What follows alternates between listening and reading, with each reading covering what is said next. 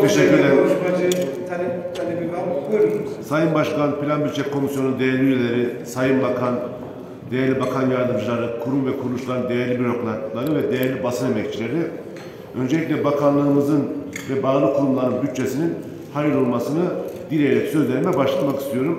Sayın Bakan güzel bir sunum yaptı ancak e, sanki 20 yıldan beri hükümeti yöneten e, bir hükümetin üyesi gibi değil de e, yeniden bakanlığa aday gibi bir konuşma yaptı Sayın Bakan. Öncelikle şunu vurgulamak isterim ki inşallah önümüzdeki dönemde yerlerimiz değişecek. Orada sizin yerinizde Millet İttifakı'ndan bir arkadaşımız inşallah oturacak. Siz de buraya alırız umarım. E, tekrar bütçenizin hayırlı olmasını diliyorum Sayın Bakan. Tabii Çalışma Bakanlığı bütçesinin içinde en önemli kalemlerinden birisi Sosyal Güvenlik Kurumu. 2008'de yeniden yapılandırılarak yürürlüğe giren 5510 sayılı sosyal sigortalar ve genel sağlık sigortası kanunu üzerinden 14 yıl geçti. AKP iktidar üzerinden ise 10, 20 yıl geçti. 20 yıldır açıkları kapatmak şöyle dursun, açık maalesef 106 katına çıkmış durumda. Sosyal güvenlikte devrim yaptık dendi. Şimdi sistem mali açıdan sürdürülebilirliğini maalesef kaybetmiş durumda. Sık sık Cumhuriyet Halk Partisi ile ilgili bir propaganda var. 20 yıldan beri yapılıyor. AKP Genel Başkanı Sayın Erdoğan ve sözcüleri sakız gibi SSK'yı Kılıçdaroğlu batır diye bir algı operasyonu yapmaya çalışıyorlar. Biraz, biraz sonra tablolarla göstereceğim bunun manipülasyon olduğunu, yalan olduğunu, iftira olduğunu ve maalesef 20 yıldan beri kendi becerisizliklerini kapatmaya yönelik hamleler olduğunu söylemek isterim. Şimdi elimde birkaç tablo var. Kemal Kılıçdaroğlu SSK yıllarıyla iktidar dönemini karşılaştıran bir tablo. Bunu sizlerle kısaca paylaşmak istiyorum. Şimdi tablo birim, tablo bir var burada. Orada görüyorsunuz Kılıçdaroğlu'nun toplam görev yaptığı sürede e, iki- 1999'un 2 ayda dahil 4 milyon 572 bin açık var SSK'da. 2003-2002 yılları arasında SGK'nın toplam açığı ise 482,5 milyar lira. Yani AKP'nin SSK, SGK açığı Kılıçdaroğlu'nun tam 106 katı.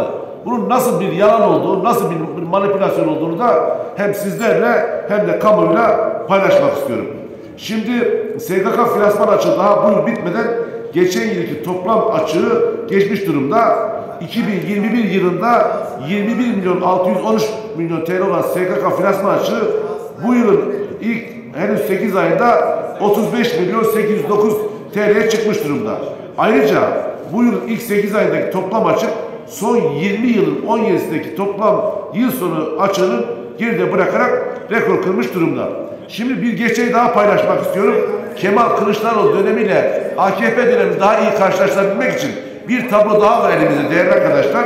O tabloda tablo 2 söyleyeceğim Kemal Kılıçdaroğlu döneminde emekli olabilmek için yaş sınırı daha zordu. Yaş sınırı bakın Kemal Kılıçdaroğlu dönemine bakın bu döneme bakın değerli arkadaşlar. Hem yaş sınırına bakın hem aylık bağlama oranlarına bakın.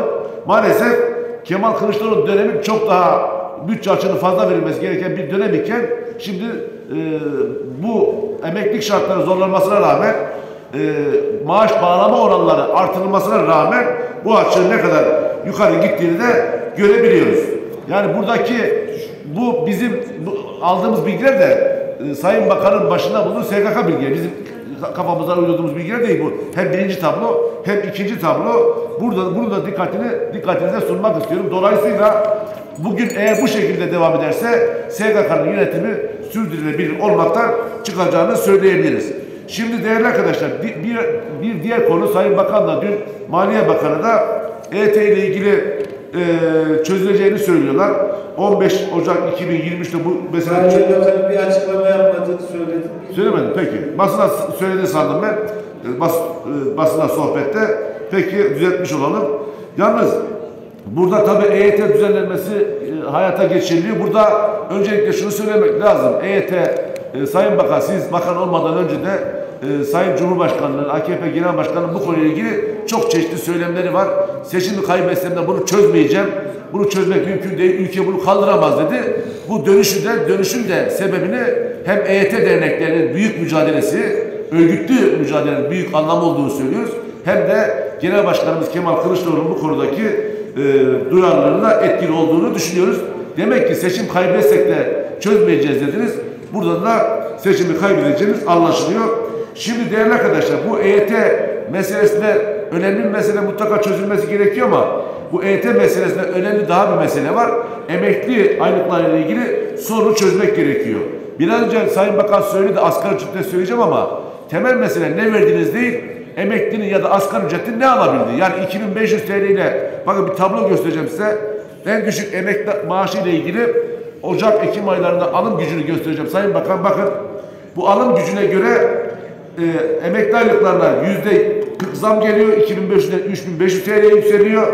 Ancak Ocak ayına göre 3500 TL en düşük emekli aylığı 2500 TL en düşük emekli aylığına göre oradaki tablolar 102 kilo daha az pirinç, 129 adet daha az makarna, 140 kilo daha az patates, 29 kilo az tavuk alabiliyor.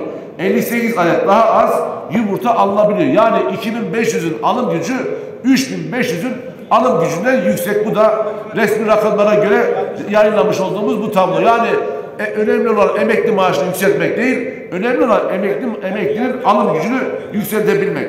Şimdi Değerli arkadaşlar. tabii ki 2022, 2022, 2022. Şimdi bir diğer konu değerli arkadaşlar, bir diğer konu ise emekli maaşlarındaki emekli maaşlarındaki ikram 2022 canım 2019 olacak değil mi?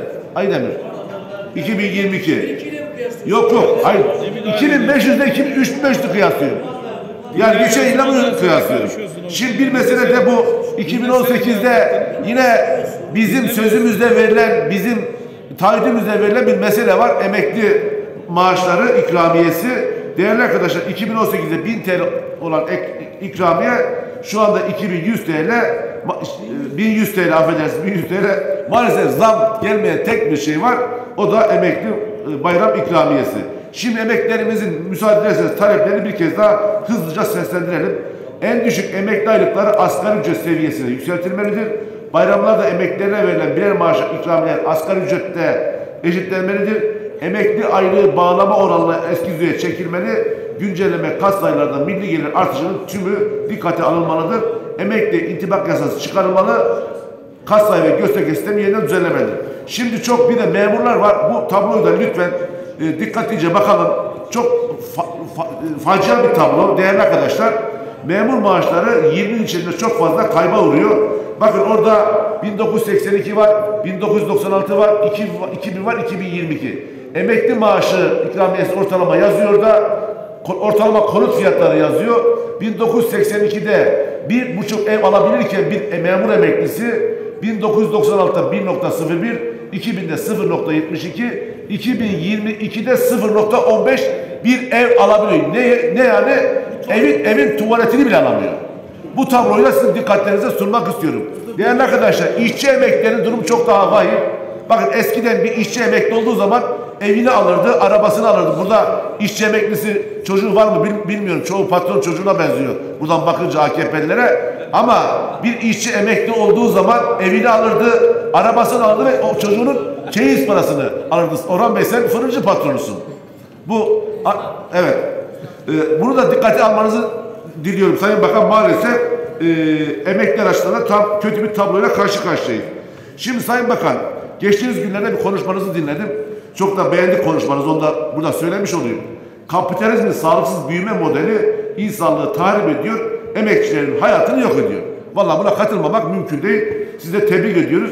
Tabii yalnız bunlara bakınca ya bunu söyleyen sizsiniz. Sonuçta sizin bakanlığınız geçmişteki bakanlıklarında bakanlığa sorumlulukları size ait. Acaba bu sö- söylenen söz bir kağıt üzerinden mi kalacak, hayata geçecek mi?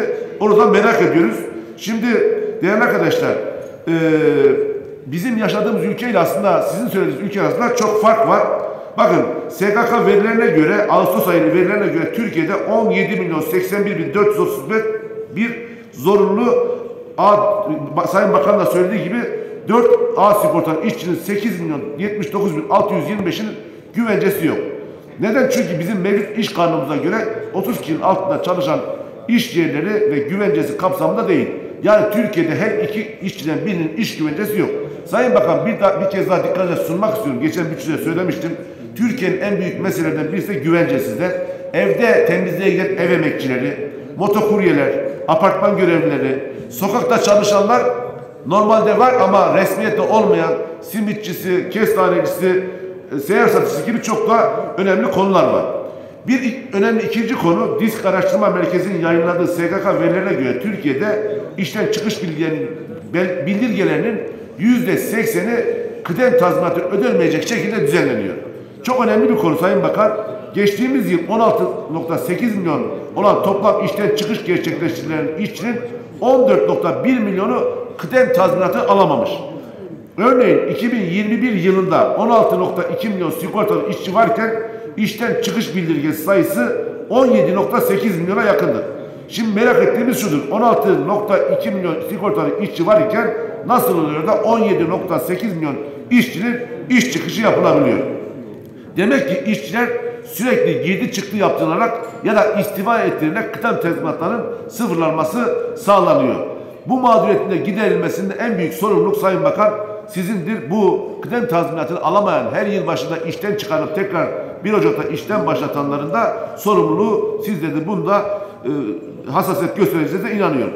Dört sendikalaşma hakkı siz geçmişte sendikacılığı da iyi bilen e, insanlardan birisiniz. Geçmişte hem e, akademisyeniz hem e, çalışma yaşamını iyi bilen birisiniz. Sizin de söylediğiniz rakamlara göre maalesef Türkiye'deki sendikalaşma rakamları son derece kötü durumda. Sayın Bakan bu sendikalaşma aslında her derdin devası diye düşünüyoruz. Bakın bugün aktif pasif sigortalı oranı 1.94. Bunun artması artıracaksak bunu da kayıt dışında yok ederek artırmak lazım. Sendikalaşma büyük her şeyin il- ilacıdır. Ayrıca örneğin bir firma, kurumsal bir firma sendikalı işçi çalıştırıyor. Karşıdaki rakip olduğu sendikalı işçi çalıştırmıyor. Dolayısıyla o e, bir haksız rekabette yol açıyor. Bunu da düzeltmek lazım. Ben şimdi beyaz bayrak uygulamasını görünce umutlandık. Mutlaka be- belki de işverenlere eğitim vermek lazım bu konuda. Sendikalaşmanın bir düşman olmadığını, aslında onların da faydasına olan bir şey. Bunu da anlatmak lazım. E, bu teşvik verilerek bunların da çözülebileceğini düşünüyoruz. Bir başka tablo Sayın Bakan bu taşeron e, meselesi ısrarlı bir şekilde e, kadro çağrımız gerçek söylendi. Bir kısmına verildi, bir kısmına verilmedi ama bir tabloyla sizin tekrar burada dikkatinize sunmak istiyorum. Tablo 5. Sayın Bakan burada birçok alanda bakın hastanelerdeki bilgi işlem sistemi, karayolları, görüntüleme merkezi, TCDD, PTT gibi birçok kalem var. Bunların da mutlaka giderilmesi lazım. Birazdan e, Trabzon milletvekili Cora da konuşacakmış. Bu Rize'deki e, çay işçilerin meselesinde sorun çözülmesi lazım. Yaklaşık 10 bine yakın işçi var. Onlar 6 ay çalışıyor. Emekli olmaları mümkün değil. Ayrıca aynı konu devlet demiryolu işçilerinde de geçerli. Bu, bu, bu sorunun mutlaka çözülmesini sizden beklediğimizi ifade etmek istiyorum. E, zamanımız herhalde kalmadı. Şimdi Sayın Bakan biraz önce söylediğiniz bir asgari ücret tablosu var ki aslında Türkiye'nin utanç tablosu. Bakın Avrupa'da asgari ücret çalışanların tüm çalışanlar oranlarına lütfen buradan bir bakın. Bizim yüzde 57 yani neredeyse e, yüzde 57 Ar- araştırın lütfen o e, Hollanda'da bu yüzde 3 Belçika'da 3 Yunanistan'da 3 bizi kıskanan Almanya'da 5 Malta'da 6 rakam çok AB ortalaması yüzde 8 bu çalışanların çalışanların asgari ücretteki oranı Sayın Bakan bu bizim utanç tablomuzdur. Türkiye'de maalesef asgari ücret olağan ücret olmuş durumda. Bunu da düzeltmek hepimizin sorumluluğudur. En çok da sizin sorumluluğunuz. Şimdi yakında maalesef tek tip ücretten söz edeceğiz. Yani yakında tek tip ücrete doğru hızla gidiyor. Tabi Avrupa bizi kıskanıyor. Tüm dünyada enflasyon var, kriz var. Yalanlar da var ya. Onlarla ilgili bir tablo paylaşmak istiyorum. Bizim asgari ücretlerimizde Avrupa'daki asgari ücreti Aydemir kardeşlere de paylaşmak istiyorum. Onlar da dinlerlerse beni. Bakın e, Türkiye'deki asgari ücret 297 euro, enflasyon 85.51. Almanya'ya bakın 1811 euro, Fransa 1646 euro, Hollanda 1756 euro, Yunanistan 832 euro, enflasyon 12. Yani Türkiye en düşük asgari ücret sıralamasında Avrupa ikincisi. Enflasyonumuzda gördüğünüz gibi Avrupa bizi kıskanan Avrupa'nın neredeyse toplamı kadar bir enflasyon rakamımız var. Burada sizlerin dikkatine susmak istiyorum. Yine bir başka konu değerli arkadaşlar. Bir, Sayın Bakan da söyledi tekrar ifade etmekte fayda var. Bakın asgari ücretin 5000 işte 2825'ten artı, artırarak geliyor. Değerli arkadaşlar, asgari ücretin önemli olan alım gücünü artırmaktan artırmaktır. Yoksa asgari ücreti 10 bin yaptınız, enflasyon yüzde 85 olduğu sürece bunun bir anlamı olmadığını söylemek isterim. Bakın yine bir tablo var. Orada as, alım gücü kıyaslanması Avrupa ile Türkiye arasında bu da önemli bir tablo. Fransa'da bir asgari ücretli bizim asgari ücretimizden 2607 kilo daha fazla soğan, 1578 kilo daha fazla süt alabiliyor. Almanya hakeza bakın 5612 adet daha fazla yumurta, 959 kilo daha fazla patates, 30 kilo daha fazla et alabilmektedir. Yani önemli olan asgari ücreti artırmak değil, önemli olan alım gücünü artırmak, asgari ücretin ne aldığı önemli. Bu- Bunu da siz dikkatlerinize sunmak istiyorum değerli arkadaşlar. Şimdi e, bir de bu şey meselesi var, e, vergi dilimi soygunu var. Geçtiğimiz yıl yine bütçede gündeme getirmiştik. Maalesef çok dikkate alınmadı. Ağustos ayından itibaren %27'lik üçüncü vergi dilimine girmeye başladı insanlar. Brüt asgari ücretin 222 TL olduğu 2002 yılında ilk vergi basamağı 3800 TL iken asgari ücretin 17 katıydı. AKP iktidarında vergi dilim tarifeleri asgari ücretli ve milli gelir artışına daha az artırıldı. Böylece 2022 yılında Temmuz ayı 6471 brüt asgari ücret ilk vergi dilim asgari ücretin 4.95 katına gerilemiş durumda. Bu da önemli bir tablo. Sadece bir rakamı söyleyerek e, anlatmak istiyorum. 68 bin alan vergi ödemiyor. 70 bin alan yüzde e, yüzde 27 vergi ödüyor. Bunun da mutlaka düzeltilmesi lazım olduğunu söylemek istiyorum. Sayın Bakan aklıma gelmişken söyleyeyim hemen. Biliyorsunuz maaş promosyonları veriyor. Milletvekilleri de aldı promosyon. Bütün memurlar alıyor. Maaş promosyonu almaya kim var biliyor musunuz? Mecliste çalışan danışmanlar maaş promosyonu almıyor. Memur olanlar maaş promosyonu almıyor. Yarın milletvekili biter ne olur ne olmaz diye işten çıkarılır diye memur olanlar söylüyorum. Kadro olanlar söylüyorum. Bu da önemli bir konu. Burada danışman arkadaşlar da var. Onlar da beni teyit edecektir. Burada sizin dikkatlerinize sunmak istiyorum. Şimdi Biraz önce söylediğiniz iş cinayetleri konusunda Sayın Bakan bu iş cinayetlerinin sorumlusu ne madende çalışan işçi ne gariban emekçi bu cinayetlerin sorumlusu bu ülkeyi yönetenler. Bu sorumluluğu almanız lazım. Nasıl ki duble yolları siz yapıyorsanız, barajlar siz yapıyorsanız vallahi billahi bu cinayetlerin de sorumlusu sizsiniz. Bakın daha bundan 8 yıl önce 2014 13 Mayıs'ında ülkemizin yaşadığı en büyük cinayetlerden birini yaşadık toplu 301 ama o yıldan itibaren her yıl bir Soma yaşıyor Türkiye. Bakın o rakamları da sizlerle paylaşmak istiyorum iş cinayetleri tablosunu, dönemimizdeki iş cinayetleri tablosunu. Bu Türkiye'de yaşayan herkesin ayıbıdır. En çok da sizin ayıbınız Sayın Bakan. Bakın bu ciddi bir şey. Burada bir de şeyin sorumluluğuna dikkat etmek lazım. Ben sendikalardan sorumluyum. Burada sendikanın da sorumluluğuna dikkat etmek lazım Sayın Bakan. Yani sendikada eğer kendi işçisini riske atıyorsa bunun da bir sorumluluğu olması lazım. Bunu da bir değerlendirilmesi lazım. Çok çok, çok kimse laf etmiyor. Belki bu konuda te- tepki alacağım ama bu konuda mutlaka sendikanın da sorumluluğunun işverene karşı olması gerektiğini söylemek istiyorum. Şimdi bir diğer tablo hani 100 binde e, iş kazanan ölüm oranları onu da sizinle paylaşmış olayım. Bakın Kırgızistan, Mısır, Moldova bizden fazla.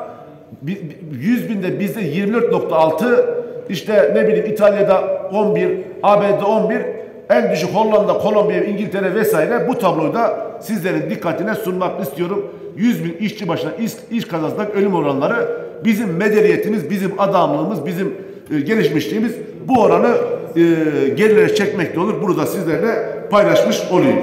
Şimdi Sayın Bakan bu işsizlik konusunda da değinmek istiyorum. Bakın Ecevit Allah rahmet eylesin 1999'da o zaman MHP de ortaktı. Onları da tebrik edelim bu arada. Hep e, sorumlu Ecevit atıyoruz MHP yapmıyoruz ama ben iyi bir şey var. E, MHP'de paylaşayım. Bu KPSS fakir fukaranın en büyük torpiliydi. Ama maalesef bunun da içine yani edildi demeyeyim de bu da berbat edildi. Bir mülakat denen bir sistem getirildi. Sayın Bakan bunu da değiştirmek hakikaten bu fakir fukaraya karşı fakir fukaraya karşı ayrımcılık yapmak, bu konuda ayrımcılık yapmak en büyük ahlaksız. Yani bakın ben şunu da söyleyeyim. CHP ile AKP oy veren fakir fukara arasında fark yok tarafınızda. Milletvekili yakın değilse, il başkanı yakın değilse AKP oy veren fakir fukara da işe giremiyor. Mutlaka bu mülakat sisteminin tekrar hayata geçmesi gerekiyor. Son olarak Sayın Bakan birkaç konuyu sizlerin dikkatine sunmak istiyorum. Bu PTT'de insanlar örgütlü oldukları için sürgün yiyor. Bak tekrar söylüyorum PTT'de insanlar örgütlü olduğu için Birlik Habersen, Türk Habersen, Halil diye tüm sendika yöneticilerine, işveri, iş yeri temsilcilerine 4688 kanuna aykırı sürgün yapılıyor. Lütfen bu konuyu sizin dikkatlerinize sunmak istiyorum. Bu konuda dikkatini çekmek istiyorum. Ayrıca hemen hızlı hızlı söyleyeyim. Disk Gıda İş üyesi 124 kişi Philip Morris'ten atıldı İzmir Torbalı'da. Bunu da bir çözüme, bu da sendikalaşmadan dolayı bunun da bir çözüme bulunması gerekiyor.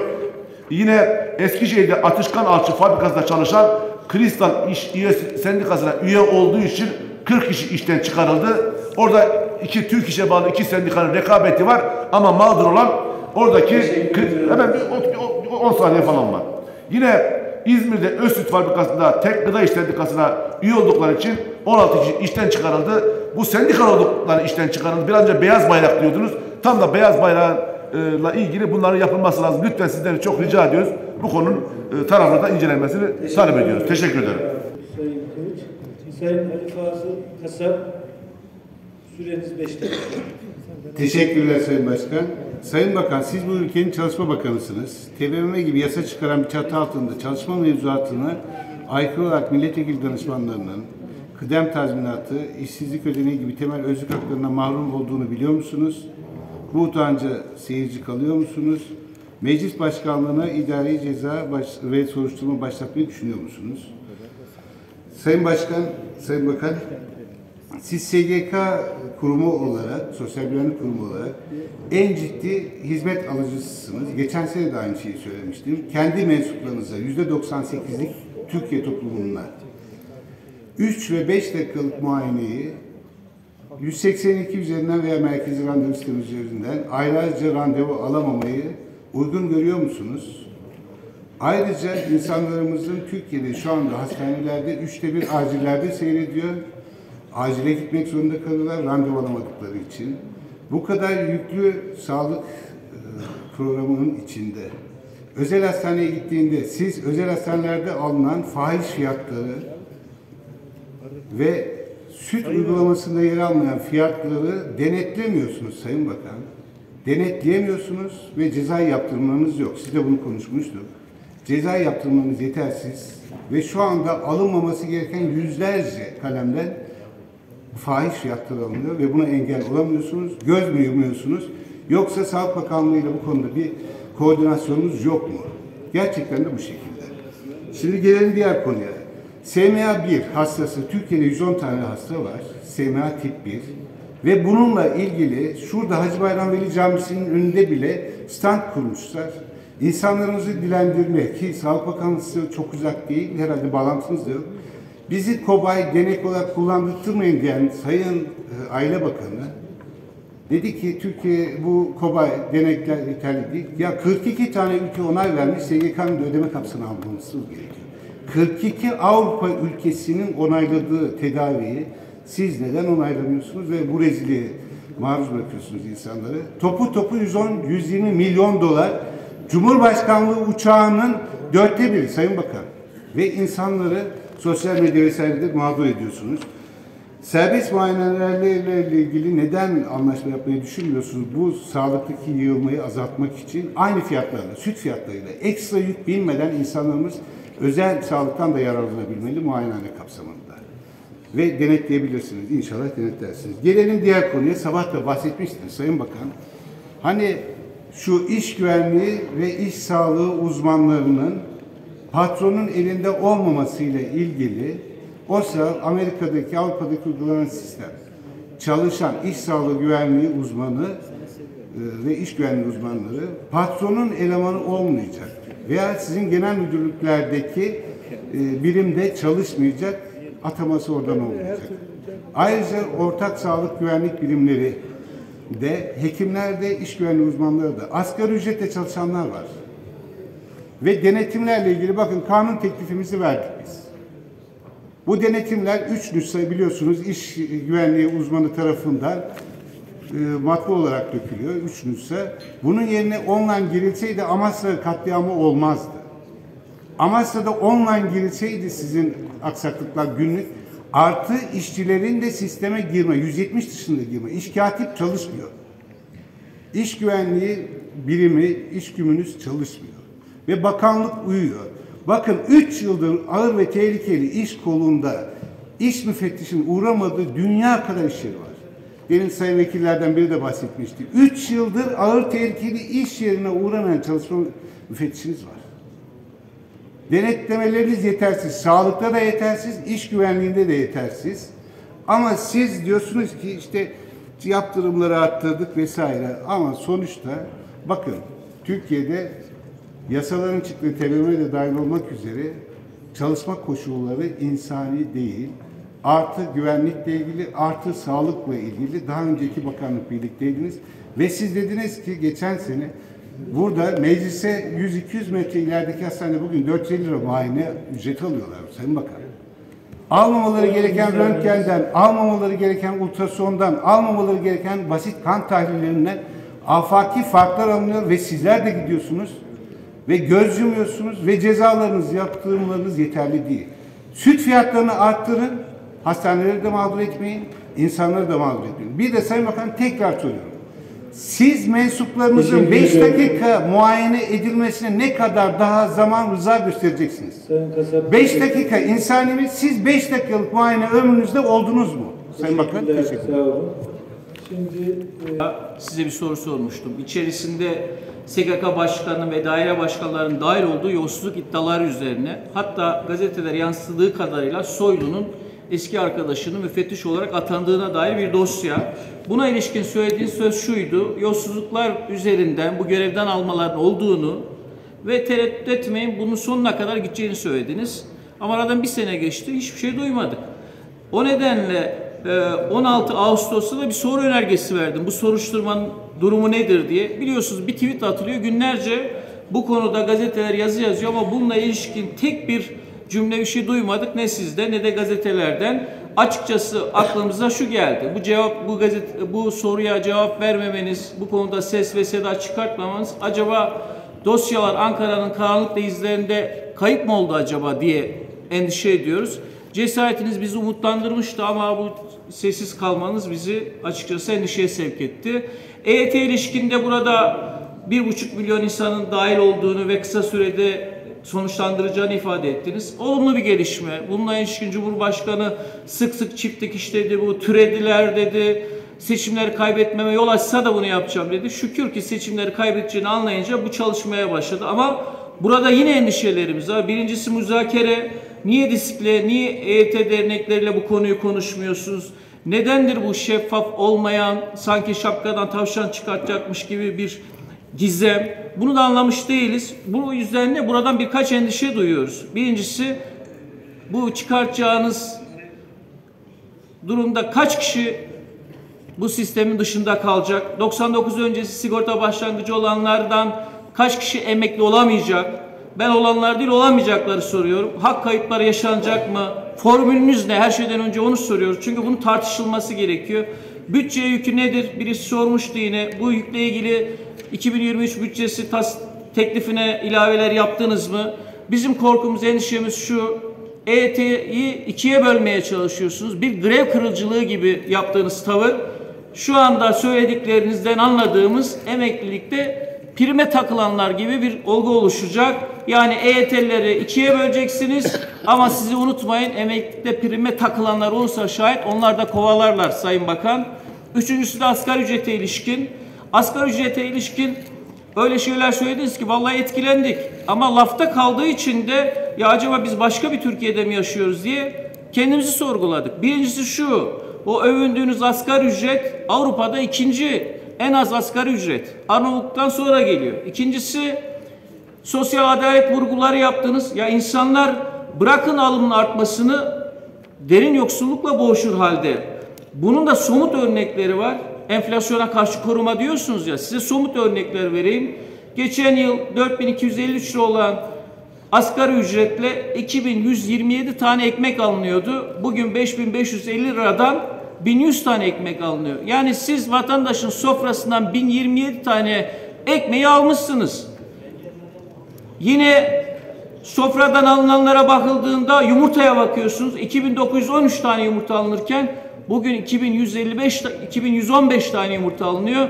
Yani 798 tane yumurta gitmiş. 157 paket makarna gitmiş. 73 litre süt gitmiş. Bu gidenlerin hepsi vatandaşın sofrasından giden ya da çocuklar okula giderken beslenme çantasından alınanlar bunlar. En çarpıcı olan da şeker. Şekerle geçen yılki asgari ücretle 850 kilo alınabiliyordu. Şimdi 197 kilo alınabiliyor. Yani 653 kilo şeker vatandaştan çalınmış, alınmış durumda. E peki bu övündüğünüz asgari ücretle bu insanlar nasıl geçinecekler? Bunun neresinden övünüyorsunuz?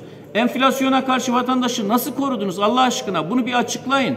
Eğer aynı mantıkla, aynı bakışla 2023 Ocak ayındaki görüşmelerde, Aralık ayındaki görüşmelerde yani bu yeni sigortada, asgari ücrette siz aynı rakamlarla yine vatandaşı bu rakamları verirseniz yine korumuş olacağız diyecek misiniz? Teşekkür ediyorum. Ali Bey başlasanız artık buyurun. Tamam başlayalım. Şöyle e, Sayın Kılıçdaroğlu'ndan sonra yaklaşık 10 kadar e, SGK Genel Müdürü geldi geçti. Ama hiçbirisinin adını hatırlamıyorsunuz herhalde. Ve o dönemde gayet başarılı bir çalışma yapmış olan Sayın Kılıçdaroğlu'nu hep gündeme getiriyorsunuz. O günkü hükümetleri nedense hiç göz önüne almıyorsunuz. Politikaları hükümetler ortaya koyar, bürokratlar uygular ve bu konuda sizin uyguladığınız 20 yıllık politikalarda ülkeyi bu noktaya getirdi. Önlenebilir iş cinayetleriyle hayatını kaybeden tüm emekçileri saygıyla anarak baş, başlamak istiyorum konuşmama. Sayın Bakan iyi bir e, şey söyledi. Dedi ki ya bu sistem sıkıntılı, parayı veren iş güvenliğini çalıyor. Yani iş güvenliği ve işçi sağlığı ile ilgili olarak eğer patron işine gelmeyen bir öneriyi, uyarıyı ısrarla devam ettiriyorsa o kişiyle çalışmıyor ve o kusurlar devam ediyor ve Amasra'da olduğu gibi de bazen insanlar bunu 42 kişi orada canlarıyla bunun bedelini ödüyor. Bu sistemi başından beri ben bir iş yeri hekimi olarak uyardık. Dedik bu sistem doğru değil. Bu sistem mutlaka havuzdan bu hizmet alınmalı ve patronlar da bu paraları o havuza ödemeli ve orada da bakanlık düzenleyici, denetleyici görevini yerine getirmeli. Bu noktaya gelmenizden dolayı memnunuz. Bunun bir an önce düzenlemesinin yapılıp hayata geçmesi işçilerimizin can güvenliği açısından da faydalı olacak. 20 yılda iş güvenliği tedbirlerinin yeterince alınmamasından dolayı 30.224 emekçi hayatıyla bunun bedelini ödedi. Yani bu kadar 30 bin insanın öldüğü bir alandan bahsediyoruz ve bu dönemin hepsinde de Adalet ve Kalkınma Partisi iktidardaydı. Yani her gün 5 emekçinin hayatını kaybettiği bir durumdan bahsediyoruz ve Avrupa'da bunun Almanya'daki örnekleri onda bir düzeyinde. Yani orada kader değil, fitrat değil ama bizde maalesef böylesi hükümetler tarafından yönetilince kader diye bize dayatılmaya çalışılıyor. Halbuki bu göz göre göre gelen ihmaldir. Orada Amasra'da 3 dakikada bir alarm vermişken atık havasındaki atık e, havasındaki karbon monoksit düzeyi ve bu yok sayılmışken artık sistem öyle bir şey olmuş ki 3 dakikada bir alarm mı olur? Artık alarm bile yok sayılmaya başlamış ve sonra metan gazındaki yükseliş ve uzaklara konan dedektörler oradaki faciayı göz göre göre davet etmiş. Orada ailelerle görüştüğümüzde bizi patlatacaklar diye söylediklerini o aileler bize de ifade ettiler ve maalesef onlar hayatlarını kaybettiler. Engellerin ödemelerinde hane halkının gelirine bakılıyor. Halbuki sosyal devlet hane halkının gelirine bakmamalı. O kişinin gelirine bakmalı. Ailelerin geliri üzerinden devlet kendi görevini ailelerin üzerine yıkmamalı. İşsizlik fonuna başvuranların çok önemli bir kısmı yarısından fazlası ücret alamıyor. Yani o işsizlik fonundan yararlanamıyor. 1 milyon 246 binin üzerinde başvurudan 604 bini maaş hakkı kazanmışken 641 bini maalesef bu destekten mahrum kalmış ve bunların çocuğu var, ailesi var ve bunlar dar gelirli, kıt kanaat geçinmeye çalışan insanlar ve bunlar çaresizlik içerisinde hayatlarını sürdürmeye çalışıyor. Her genç, beş gençten birisi işsiz. Her dört kadından da, genç kadından da birisi yine işsiz. Yani kadınlar daha çok ezilmeye bu sistemde devam ediyor. Gençlerin 15-24 yaş grubu arasında yer alan 12 milyon 38 bin gencin 2 milyon 736 bini ne eğitimde ne istihdamda. Diğer yandan örgün eğitim çağında olması gereken çocuklar açık lisede okutuluyor. Halbuki 12 yıl eğitim zorunluydu hani. Ama o çocuklar ucuz iş gücü olarak çalışırken açık liselerde örgün eğitim çağında olmalarına rağmen çalıştırılıyorlar maalesef. Bizim bir emekliye e, şu anda daha önceden iki kişi çalışırken şimdi bir emekliye dört kişi e, düzeyinde e, bizim e, bu çalışan sayısını istihdamı arttırmamız gerekiyor. Bu konuda da bir bakanın açıklaması vardı. Eğer Suriyelileri gönderirsek sanayicimiz iflas eder diye. Bu tutum Türkiye'ye yakışan bir tutum değil. SGK'nın alacakları var. Teşekkür ediyoruz. Kısa bir, bir- cümleyle lütfen. Türkiye Petrolleri Anonim Ortaklığı'ndan alacakları var. Bu alacakları Varlık Fonu'na devredildiğinden beri tahsil edilmiyor. Bunların da tahsil edilmesi gerekiyor. Daha önce bir açıklamanız vardı. Madencinin primiyle bunlar toplanıyor diye. Buna sahip çıkmanız gerekiyor. Sağ olun. Sayın Nilgün Ök. Sayın Başkan, değerli milletvekili arkadaşlarım, Sayın Bakanım, değerli bürokratlar, değerli basın mensupları hepinizi saygıyla selamlıyorum. Sayın Bakanım, dünyada antidemokratik eğilimler e, artıyor. Türkiye'de de son birkaç yıldan beri refah devletinden e, önemli bir kopuş var, sıkıntılar var. Yani dolayısıyla sosyal güvenlik için, sizin bakanlığınız için çok daha fazla bir e, sorumluluk söz konusu. Bunun müdrik e, olduğunuzun farkındayım. Ama geleceğe yönelik bir vizyon muhakkak bakanlığın çizmesi lazım. Yani şimdiye kadar gelen şekliyle e, değil de çok daha farklı bir e, Türkiye ile karşı karşıyayız. Arkadaşlarımız ifade ediyorlar 300 doların altında bir asgari ücret. E, diğer ülkelerden hep pozitif olarak ayrışıyoruz ya bu sefer negatif olarak ayrışıyoruz ve bu devam ediyor maalesef. Gittikçe de e, kötüye giden bir durum var. Önümüzdeki yıllar için bakanlığınızın çok daha e, farklı bir vizyonu olması gerektiğini düşünüyorum. Bunun siz de farkındasınız. Kabine içerisinde de bunun farkında olan e, aşağı yukarı birkaç kişiden biri olduğunuzu düşünüyorum. E, onun için özellikle belirtmek istedim. E, mesela bu yıl e, dün de ifade ettim. Çalışanların e, ödedikleri ücret, yani ücretlerin e, ödedikleri gelir vergisi kurumlar vergisinin a- üstünde. Yani ortalama olarak e, geçen gün birisi ifade etti, profesör benim aldığım ücret yüzde 27 ortalama vergileniyor dedi. Kurumlar vergisi biliyorsunuz 25 e, şeyler için, bankalar için o da. Onun bile üzerinde bir vergilendirme söz konusu. Cumhurbaşkanlığının bu konuda yetkisi var bildiğim kadarıyla. Gelir vergisi 94'e 1'e göre bu yetkisini kullanabilir. Ee, kullanılması da gerekiyor. Bu sene mesela e, 2022 yılı içerisinde vergi gelirlerinde 900 1.2 öngörülmüştü. 900 milyarlık bir artış söz konusu oldu. 2.1'e çıkıyor yıl sonu itibariyle. Ve bu artış biliyorsunuz harcama vergilerinden karşılanıyor. Yani vatandaştan enflasyon yoluyla alınan bir vergi. Çok ağır bir e, yük vatandaşın üzerine kaldı. Bunların yapılması lazım. Özellikle ücretlerin e, bu yükten kurtarılması lazım. Emeklilerin geçen hafta bir emekli e, e, derneğinin genel kuruluna katıldım. Emekliler utanıyoruz dediler. Torunlarımıza harçlık veremiyoruz dediler. Sıkıntıdayız dediler. Ve doğrudur. E, gerçekten o vaziyetteler. Bu katkı payı meselesi e, ben de hani eski bir sosyal güvenlikçi olarak biliyorum. Yönetim kurulu üyesi ve genel müdür yardımcılığı yaptım. O zaman biz e, bu konu üzerinde durmuştuk. Çıksın istedik çünkü karnesini gönderiyordu, sağlık karnesini. Arkadaşına, eşine, dostuna, mahalledeki tüm tanıdıklarına ilaç yazdırabiliyordu. Katkı payından sonra bu olmamaya başladı ama katkı payı bunu aştı şimdi. Katkı payı artık bir yük olmaya başladı. Yani caydırıcı bir önlem olmak yerine israfı e, tetikleyen bir e, eylemi önlemek yerine artık bayağı bir yük olmaya başladı. Bu katkı paylarını yeniden değerlendirmek gerekiyor. Çok ağır, bir şey var. Bir de özellikle sosyal güvenlik istatistikleri yayınlanmıyor. E, epeyden beri.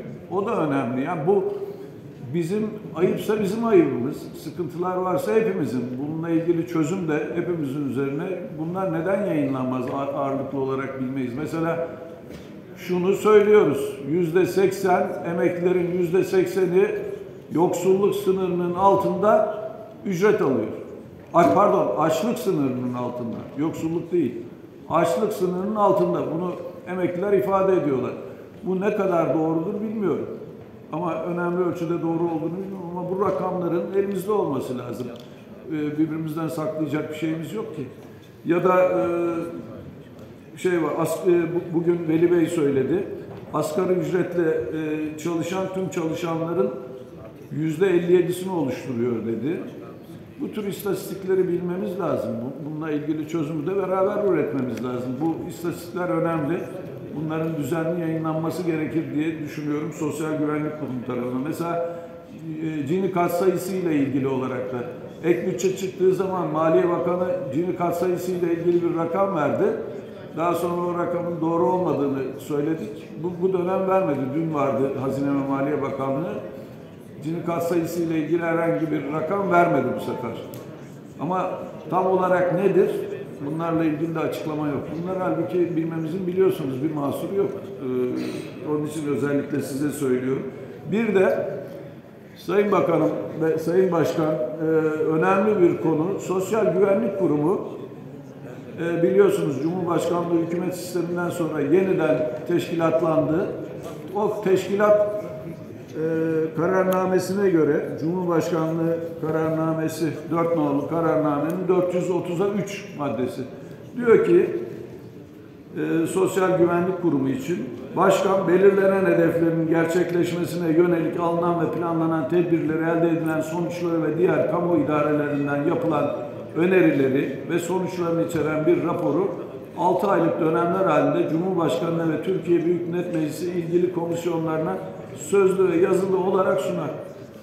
2018'de çıktı bu. Daha bir kere bu sunum yapılmadı. 6 ayda bir yapılması gerekiyor. Ne mahsur var bunun? Niye yapılmaz? Ben de hep yazıyorum meclis başkanlığına, komisyon başkanlığına. Onlar da imtina ediyorlar. Bizim işimiz değil, idarenin işidir, e, yürütmenin işi. Bunu biz sağlayamayız e, deniyor. Neden bu briefing verilmez? Halbuki verirse bu, bu işler yapılsa hem Sosyal Güvenlik Kurumu için iyi hem bizim için iyi. Zararı olmaz, yararı olur. Ee, şeylere, raporlara bakıyorum. Sayın Bakan, Sosyal Güvenlik Kurumu alacakları hep sorun olmuştur. Şimdi de e, baktım e, Sayıştay raporunun 1, 2, 3, 9'a kadar olan e, şeyleri, bulgularında hep alacaklarla ilgili sorunlar var. Özellikle Sosyal Güvenlik Kurumu'nun kamudan olan ilişkileriyle ilgili sorunlar var. Kamu hep Sosyal Güvenlik Kurumu'nu e, istismar etmiştir. Geçmişte işte toplu konut yapılamıyordu. Sosyal e, Sigortalar Kurumu'na havale edildi. Onlar yaptı. Tabii epey bir zarar söz konusu olmuş oldu. E, hastaneler yeterli değil, hastaneler yaptı. Buna benzer birçok yükümlülüğü e, Sosyal Güvenlik Kurumu yerine getirdi. Sosyal Güvenlik Kurumu şu anda önümüzdeki sene bir buçuk, e, 1.6'ya yakın bir şey var. Trilyona yakın bütçesi var. Yani devlet bütçesi 4.4, e, kurumun bütçesi 1.6. Çok önemli. Yani e, zannederim ikiye yaklaşacaktır. Sosyal Güvenlik Kurumu'na Mesela geç 582 milyarlık bir bütçe transferi e, konmuş bakıyorum. Ancak 2020'de 21'de yani e, pardon 20, 22'de 280 öngörülmüş. Gerçekleşme 420 yıl sonunda olacak. Yani e, önemli bir artış. Yani e, bu 582'de muhtemelen 900 veya 1 trilyon olacak demektir. Bu çok önemli bir transfer. Bizim dönemlerde şey yoktu, devlet katkısı yoktu. Devlet katkısı olsa yani toplanan primin dörtte bir kadar devlet tarafından yardım yapılmış olsa hiçbir şekilde açık söz konusu olmaz. Fazla söz konusu olurdu. Devlet katkısı çok iyi oldu. Ancak hala e, bu transfer meselesi devam ediyor. Transfer de doğrudan doğruya aslında açıklara katkı. Çünkü emekli maaşlarını ödeyebilmek için başka çare yok. Bu da e, aslında gerçek anlamda yüktür. Yük e, olduğundan bahsediyorsak.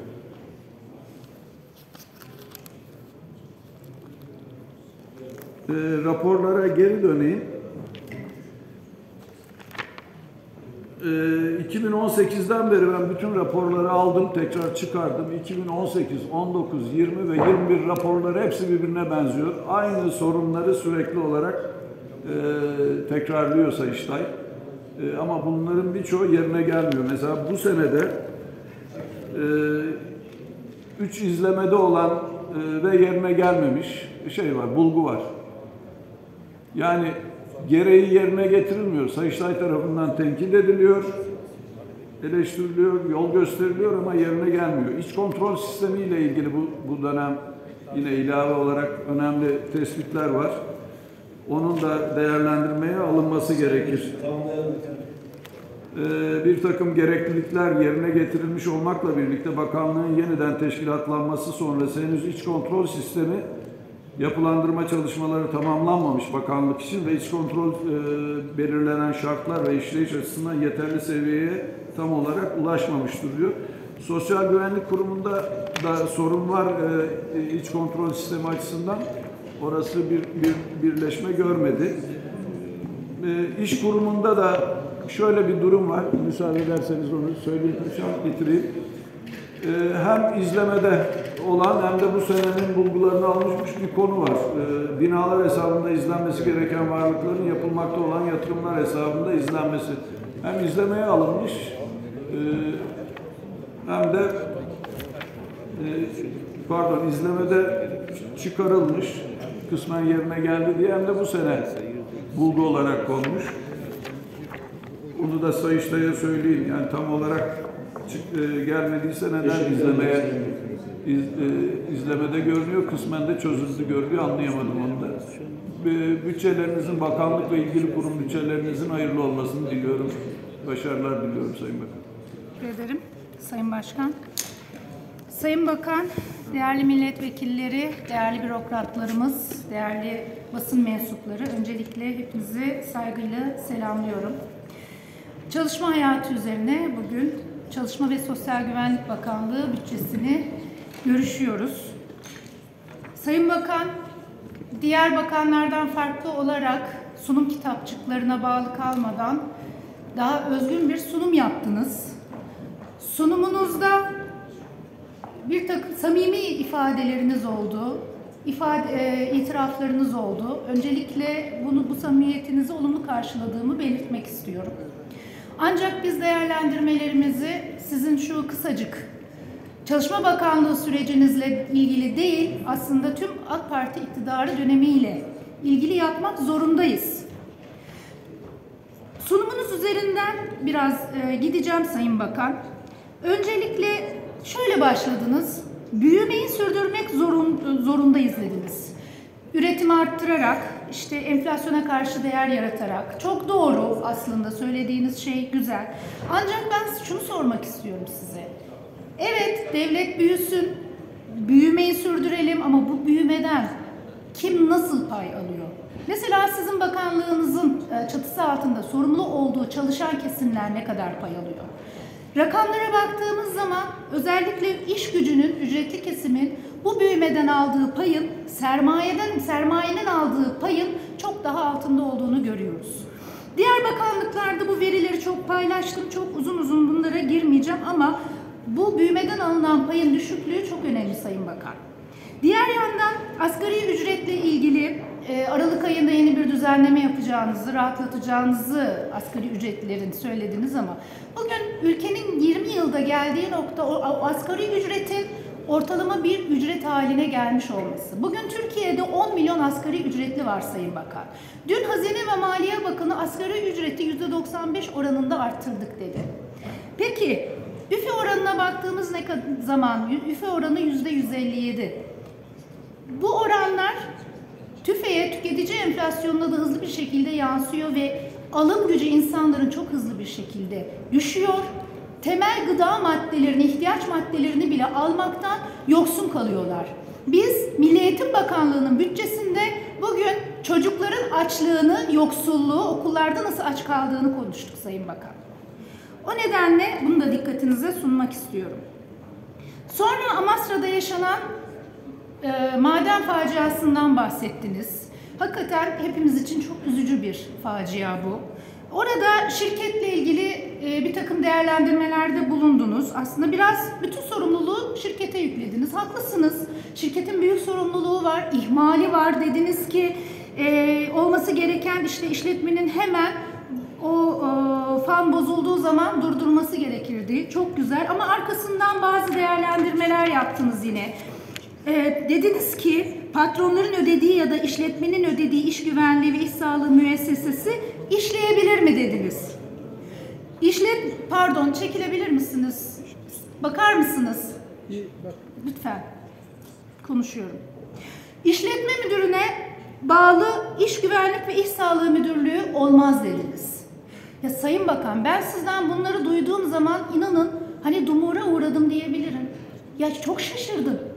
İnanın çok şaşırdım. Bunları biz size söyleyecektik. Sayın Bakan diyecektik. İşte şartlar böyle. Patrona bağlı iş güvenliği uzmanlığı çalışması olmaz. Bunlar sakıncalı. Yıllardır bunu söylüyoruz. Ben A sınıfı iş güvenliği uzmanıyım aynı zamanda ve bu işi e, iş hayatında da yaşadım, deneyimledim. OSGB sahibiydik. Her açısıyla de, deneyimledim. Yaşanan sıkıntıları orada yaşayarak gördüm ve yıllardır bütün piyasada çalışan iş sağlığı ve güvenliği uzmanları adına bu sıkıntıları, zorlukları dile getiriyoruz. Özellikle iş güvenliği uzmanlarının patronlara bağlı çalışmasının ne kadar sakıncalı olduğunu, bunun değiştirilmesi gerektiğini yıllardır söylüyoruz. Başka bir sürü şeyi söylüyoruz. Ama bugüne kadar kulaklarınızı tıkadınız. Sayın Bakan, devletlerde süreklilik esastır. Ama sizin iktidarınızda bir bakan gelir bir uygulama yapar, başka bir bakan gelir başka bir uygulama yapar. Efendim siz gelip şimdi günah çıkarıyorsunuz seçimlere beş kala. Ama yine de lütfen düzenlemeleri yapın. Gerçekten bunlar ihtiyaç var. Kesinlikle de katılıyorum söylediklerinize. Bir an önce yapın. İnşallah seçimlerden sonra iktidara geldiğimizde devletteki süreklilik itibariyle biz eğer bizlerin de uygun gördüğü şekilde bu düzenlemeleri yaparsanız e, devam ettireceğimizi hatta daha iyisini yapacağımızın da halkımıza, vatandaşımıza, e, iş güvenliği uzmanlarına da şirketlere de sözünü veriyoruz. Sayın Bakan, bunları yapmadığınız için iş cinayetleri artarak devam ediyor Türkiye'de. Bakın sizin 20 yıllık iktidarınız döneminde yaklaşık 30 bin işçi hayatını kaybetti iş cinayetlerinde. İş cinayetleri tüm hızıyla devam ediyor. Çünkü siz 6331 sayılı yasayı sadece Avrupa Birliği e, e, Avrupa Birliği reformlarına uyum amaçlı çıkardınız, düzenlediniz, ondan sonra arkasını bıraktınız. Takip etmediniz, önem vermediniz, uygulamalara geçirmediniz, yeterli müfettiş istihdam etmediniz, mevcut müfettişleriniz sahadaki çalışmalara yetişemedi. Yani bütün bunlar birbiriyle zincirleme giden şeyler ve biz neler yaşadık bu arada? Tuzla tersanelerinde, Davutpaşa, Ostim'de, Soma'da, Torunlar'da, İstanbul'da, Ermenek'te facialar yaşadık. Silikozis, asbest bunlar büyük sorunlar, büyük ölümler getirdi. En son Bartın faciası ve umarım ki devamı gelmez. Bakın 2021 yılında 2170 işçi hayatını kaybetmiş. 2022 yılının ilk 10 ayında da 1521 işçi hayatını kaybetmiş. Çocuk işçiliğini de maalesef önleyemiyorsunuz. Çocukların ölümü hala devam ediyor. Çocuk işçiliğinde de hayatını kaybeden çocuklarımız var. Bu konudaki çalışmalarınız yeterli değil. Hala biz bu ülkede çocukların ölümünü konuşuyoruz. İş sağlığı ve iş güvenliği verilerine göre bakın bu yıl başka arkadaşlarımız da ifade ettiler. 62 çocuk çalışırken hayatını kaybetmiş 2021 yılında. Düzeltiyorum. Ee, o yüzden bu sorun çok e, önemli. Çocuk işçiliğinin artmasının nedeni yoksullaşma ve sizin iktidarınızın getirdiği 4 artı 4 artı 4 eğitim sistemidir. Çocukları eğitimden uzaklaştırmış, işçiliğe itmiştir. Pandemi döneminde de aynı şekilde yoksullaşmanın artmasıyla çocuklar çalışma hayatına gitmek, okulların da kapanmasıyla çalışma hayatına geçmek zorunda kalmışlardır. Yıllardır 12 Eylül'ün yasalarıyla bu ülkeyi yönettiniz ve getirdiğiniz nokta işte iş cinayetleri, işsizlik oranlarında artış, kayıt dışı çalışma, Yani e, güvencesiz çalışma, artık güvencesiz çalışma olağan bir hale geldi sizin döneminizde Sayın Bakan. E, bir de konuşmanızda sendikalaşmadaki yetersizlikten bahsettiniz Sayın Bakan. E, şikayet ettiniz. E, yani yeterli değil dediniz. Bu oranın artması lazım dediniz. Haklısınız. Ama şunu soruyorum size şimdi. E, barajları biz mi getirdik, siz mi getirdiniz? İşte iş kolu barajı, iş yeri barajı, işletme barajı. Yani e, bakın Çalışma ve Sosyal Güvenlik Bakanlığı sendika verilerini yayınladı Temmuz ayında. Sizin verilerinizden bahsediyorum. Buna göre son 6 ayda e, 218 sendikadan sadece 60'ı barajı aşabilmiş. Sendika sayısı 156 bin artmış ama sayılar böyle. Türkiye'de toplu sözleşme kapsamı sendikalaşma kapsamından daha düşük Sayın Bakan. %14'e yakın bir sendikalaşma oranını yetersiz buldunuz ama bunun sadece yaklaşık %5'i toplu sözleşmeden yararlanabiliyor. Bu da çok düşük bir or- or- e, oran ve Avrupa'da ise tam tersi bir durum var. Yani e, Avrupa e, örneklerine bakarak bu sayıyı belki arttırabilirsiniz. Sendikalaşmanın Önündeki engeller sizin getirdiğiniz engeller. Kendi getirdiğiniz engelleri kaldırırsanız sendikalaşmadaki oran da artacaktır Sayın Bakan. Ba- İşsizlik sayılarına çok değinildi. Bakanlığınızın e, kapsamında önemli bir konu işsizlikle mücadele. Bir veri, bir iki veri paylaşacağım. Sadece sürem de bitiyor zannederim. Çok da paylaşamayacağım. Öyle görünüyor. Ama şunu söylemek istiyorum. Bugün sizin verilerinizle dar e, tanımlı işsizlikle geniş tanımlı işsizlik e, Diskar'ın yaptığı arasında %10.4 fark var Sayın Bakan. Bu, çok önemli bir e, fark ve kadın istihdamındaki e, işsizlik oranları da ciddi anlamda yüksek. Türkiye göre de kadın işsizliği Türk işsizlik türlerinin en yüksek kategorisi olarak kabul ediliyor. Yani Türkiye'de kadının adı hala yok Sayın Bakan. Bu konuda da bakanlığınızın biraz daha şu kalan çok kısa sürede daha iyi çalışmalar yapması e, gerekiyor. E, Bir ben bakan bir cümleyle bitir. Bir de e, Resmi işsizlik sayısıyla iş kurum kayıtlı işsizlik sayısı arasında çok büyük fark var Sayın Bakan. ediyorum. E, bu konuda da bir açıklama bekliyorum sizden. TÜİK'e göre 560 bin kişi azalmış Yani işsiz, İşkur'a göre konuya 148 bin artmış. Teşekkür ediyorum başkan. Bakanlık bütçenizin yine de hayırlı olmasını diliyorum. Teşekkür ediyorum. Saygıyla selamlıyorum. Ben de Çalışma ve Sosyal Güvenlik Bakanlığı 2023 yılı bütçesinin ülkemiz ve milletimiz için hayırlı olmasını temenni ediyorum. Sayın Bakan bütçenizde sosyal güvenliğin iki ay olduğunu, emeklilik ve sağlık kısmı olduğunu söylediğiniz zaman sağlık harcamalarına baktığımız zaman kitapçığınızda son 10 yılda katlanarak arttığını ve neredeyse 7 kata yakın bir artış olduğunu görüyoruz. Miktar olarak da her geçen yıl artan bu harcamaların özel sektöre ödediğiniz kısım ne kadardır? Yani özel hastanelerle kaç tane özel hastaneyle Sosyal Güvenlik Kurumu anlaşması var ve geçtiğimiz yıl 2021 yılında ne kadar miktar olarak ödeme yaptınız? Sağlık harcamalarının yüzde kaçı özel sektöre ödeme olarak yapılmıştır? Ki ben bu soruyu 30 Haziran 2022 tarihli soru önergesiyle size yönelttim. Fakat halen cevabını alamadım. Ve bakıyorum ki yine burada kitapçınızda bu miktar yok. Sadece başvuru miktarı var özel e, sağlık kuruluşlarına.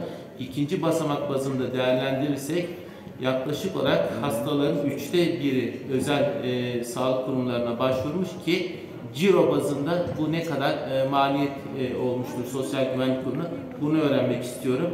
Ve yine e, sağlık hizmeti alımında serbest çalışan hekimlere de tıpkı özel hastanelerde tanıdığınız koşullarda Sosyal Güvenlik Kurumu ile anlaşma yapma e, konusunda bir çalışmanız var mı? Ki serbest çalışan hekimlerin de bu konuda talepleri var. Yaklaşık olarak 7 bin civarında e, mesleklerinde uzman olan hekim arkadaşlarımız var. Bunlar kendileri muayenehanelerde serbest olarak çalışıyorlar ve Sosyal Güvenlik Kurumu'yla tıpkı özel hastane ve e, tıp merkezlerine tanıdığınız koşullarda sizlerle anlaşma yapmak istiyorlar. Bu konuda da çalışma yapmanızı rica edeceğim. Tekrar bütçenizin hayırlı uğurlu olmasını temenni ediyorum. Teşekkür ederim.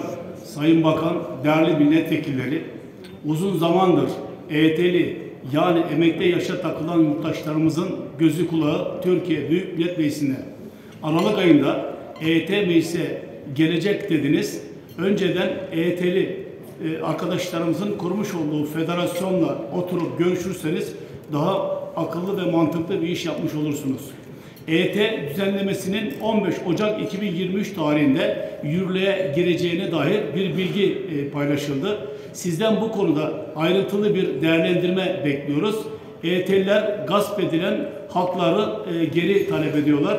Artık verilsin.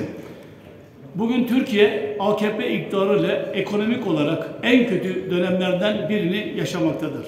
İşçinin, emekçinin, çalışanın hakkının bu kadar sömürüldüğü başka bir dönem maalesef yaşanmamıştır. Ekim ayında 4 kişilik bir ailenin açlık sınırı 7425 liradır. Yoksulluk sınırı 24185 lira olmuştur. Bekar bir çalışanın yaşama maliyeti ise aylık 9705 liradır. Ee, Böylesi bir ortamda çalışan, çalışamayan milyonlarca yurttaş derin bir yoksulluk ağının e, parçası haline gelmiştir. Asgari ücret 5500 lira ile sefalet ücretine dönüşmüştür. Ülkemizde 10 milyon üzerinde işçi asgari ücretle geçiniyor. Asgari ücret açlık sınırının altında maalesef kalmıştır. Bugün ülkemizde işçiler insan olmaktan kaynaklanan temel ihtiyaçlarını gide- giderebilecek bir ücret talep etmektedirler. Asgari ücret tespitinde geçim koşulları ve milli gelir artışı dikkate alınmalıdır. Türkiye'de asgari ücret tek bir işçi için hesaplanmaktadır ve bu durum uluslararası standartlara aykırıdır. Asgari ücret tespit edilirken işçi ve memur ayrımı yapılmamalı, tek asgari ücret olmalıdır. Asgari ücret yıllık olarak hesaplanmalı, bir işçi Ocak ayında aldığı maaşı yıl sonunda da almalıdır. Asgari ücret tespit komisyonu demokratik hale getirilmeli, komisyonda disk ve ak işte mutlaka olmalıdır. Tabii ki asli sahipleri olan asgari ücretle çalışanlar da olmalıdır. 3600 ek göstergesi adaletli bir biçimde tüm kamu çalışanlarına verilmelidir.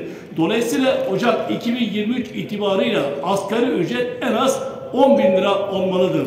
10 milyon asgari ücretle çalışan işçinin ekonomik, demokratik, siyasi ve sosyal haklarını ailesiyle birlikte belirlenmesini talep ediyor ve masa başında bu kararı verenlerin adil ve vicdanlı olmasını bekliyoruz. Unutmayın ki asgari ücret bir memleket meselesidir. Emeklerin maaşı da asgari ücretin altında kalmamalıdır. Sayın Bakan, Son 20 yılda iş cinayetlerinde en az 30 bin işçi hayatını kaybetmiştir. Türkiye iş cinayetlerinde neden Avrupa'da birinci, dünyada üçüncü sıradadır? 1995 yılında Uluslararası Çalışma Örgütü ILO ile yapılan 176 sayılı maden yasasını neden madenlerde uygulamıyorsunuz? Uluslararası Sendikal Konfederasyon'un ETUK 148 ülkeyi kapsayan küresel haklar endeksine göre Türkiye 2022 yılında çalışanlar için en kötü 10 ülkeden birisi olmuştur. Neden? Diğer ülkeler ise şunlardır. Bangladeş, Belarus, Brezilya, Kolombiya, Mısır, Myanmar, Filipinler, Eswatini ve Guatemala. Sayın Bakan, ülkemizde işsizlik 10 milyonu aştı. Bu rakam ne yazık ki 95 ülkenin nüfusundan fazladır. Kadın ve genç işsizliği ülke tarihinin en yüksek seviyelerindedir. Sayın Bakan, sendikalaşma oranı yüzde 15. Bize göre düşük dediniz. O zaman sendikaların üzerindeki barajları kaldıralım. İş yeri barajı, iş konu barajı, işletme barajı devam ediyor. Bu durum sendikalaşmanın en- önünde en büyük engeldir. 32 çeşit personel çalıştırma sistemi var dediniz. Geçmişte böyle bir şey yoktu. AKP iktidarında oldu. Bu AKP'nin bir eseridir. Taşeron sistemi çağ dışı bir uygulamadır. Yasaklanmalıdır. Taşeron işçilerin tamamına kadro verilmelidir. İşsizlik fonunun yüzde onu işsiz kalan işçilere veriliyor. Yüzde doksanı ise amacı dışında kullanılıyor. Bu durumu kabul etmek mümkün değildir. Emekleri de düşü- düşünmemiz lazım dediniz. İntibak yasasını çıkaralım. En düşük emekli maaşına da asgari ücret düzeyinde maaş verelim. Bu duygu ve düşüncelerle hepinizi saygılarımla selamlıyorum. Bütçenin de ayrı olmasını diliyorum. Çok teşekkür Milletvekilleri Sayın Bakan, değerli bürokratlar, hepinizi saygıyla selamlıyorum. Şimdi bugün Çalışma Bakanı'nın bütçesi var. Bir yılda beri yüzlerce Sayın Bakanımıza mailler geliyor.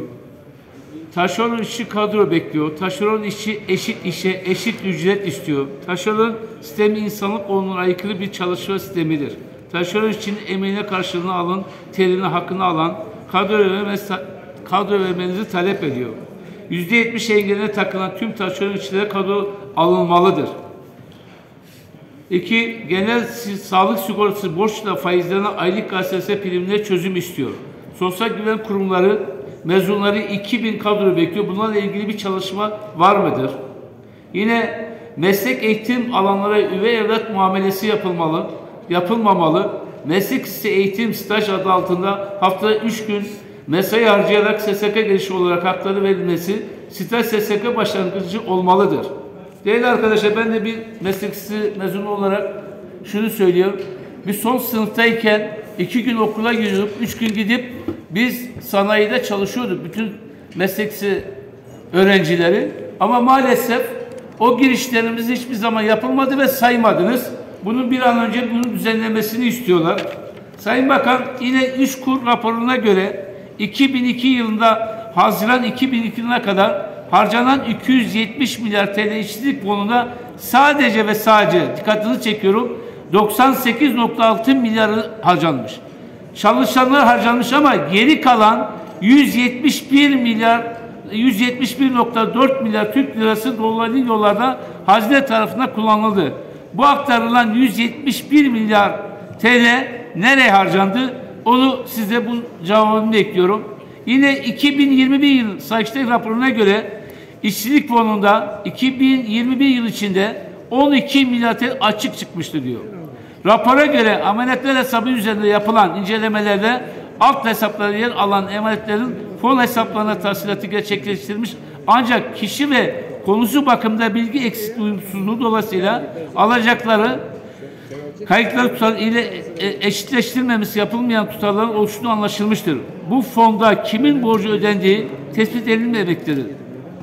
Bu kaybolan 12 milyar TL ortalama günlük 33 milyon TL gelen bu paranın nereye harcandığını ya da kimlere verildiğini lütfen söyler misiniz?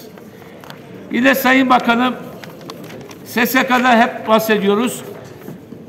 Her zaman olduğu gibi yine SSK sizin 20 yıllık sürecinde her dönem açık vermiştir. Örnek 2008 yılında 35 milyar, 2000 e, 22'ye kadar aşağı yukarı 1 trilyon 566 trilyon olarak toplam açık 380 milyar 324 lira olduğunu e, söyleniliyor. Bu konuyla ilgili 20 yılda beri bu SSK ile ilgili herhangi bir çalışmanızı oldu mu? Sayın Bakanım yine iş adamların bize attığı maillerde SSK primlerinin çok yüksek olduğunu, bu nedenle devlet iş adamlarının hırsızla yönettiğini söylüyorlar. Bununla ilgili 20 yılda beri bir çalışmanız var mı? Son zamanda geldiğinizde hem işçinin hem de işverenin önünü açacağını söylediniz. Bununla ilgili bir çalışmanız var mı? Bu konuda bilgi istiyorlar. Yine buraya gelmeden önce tonlarca yine mail geldi. Karayollarında taşeronda çalışan, kamuda taşeronda çalışan bütün işçilerimize mail atıyor. Bununla ilgili bir çalışmanız var mı? Sözleşmelerle ilgili bir çalışmanız var mı? E, EYT'lere zaten arkadaşlar girdi. Onda fazla söylememize gerek yok. Şunu söylüyorlar. Bizi yaşlı diye e, emek e, genç diye emekli etmiyorlar ama iş başvuru vuru- vurusunu yaptığımız zaman da yaşlı diye işe almıyorlar. Bizim halimiz ne olacak diye. Şu an sabah yaptığınız açıklamada şu gözüküyor ki 4,5 milyon EYT takılan vatandaşımızın herhalde 1 milyon civarında faydalandığını görüyoruz.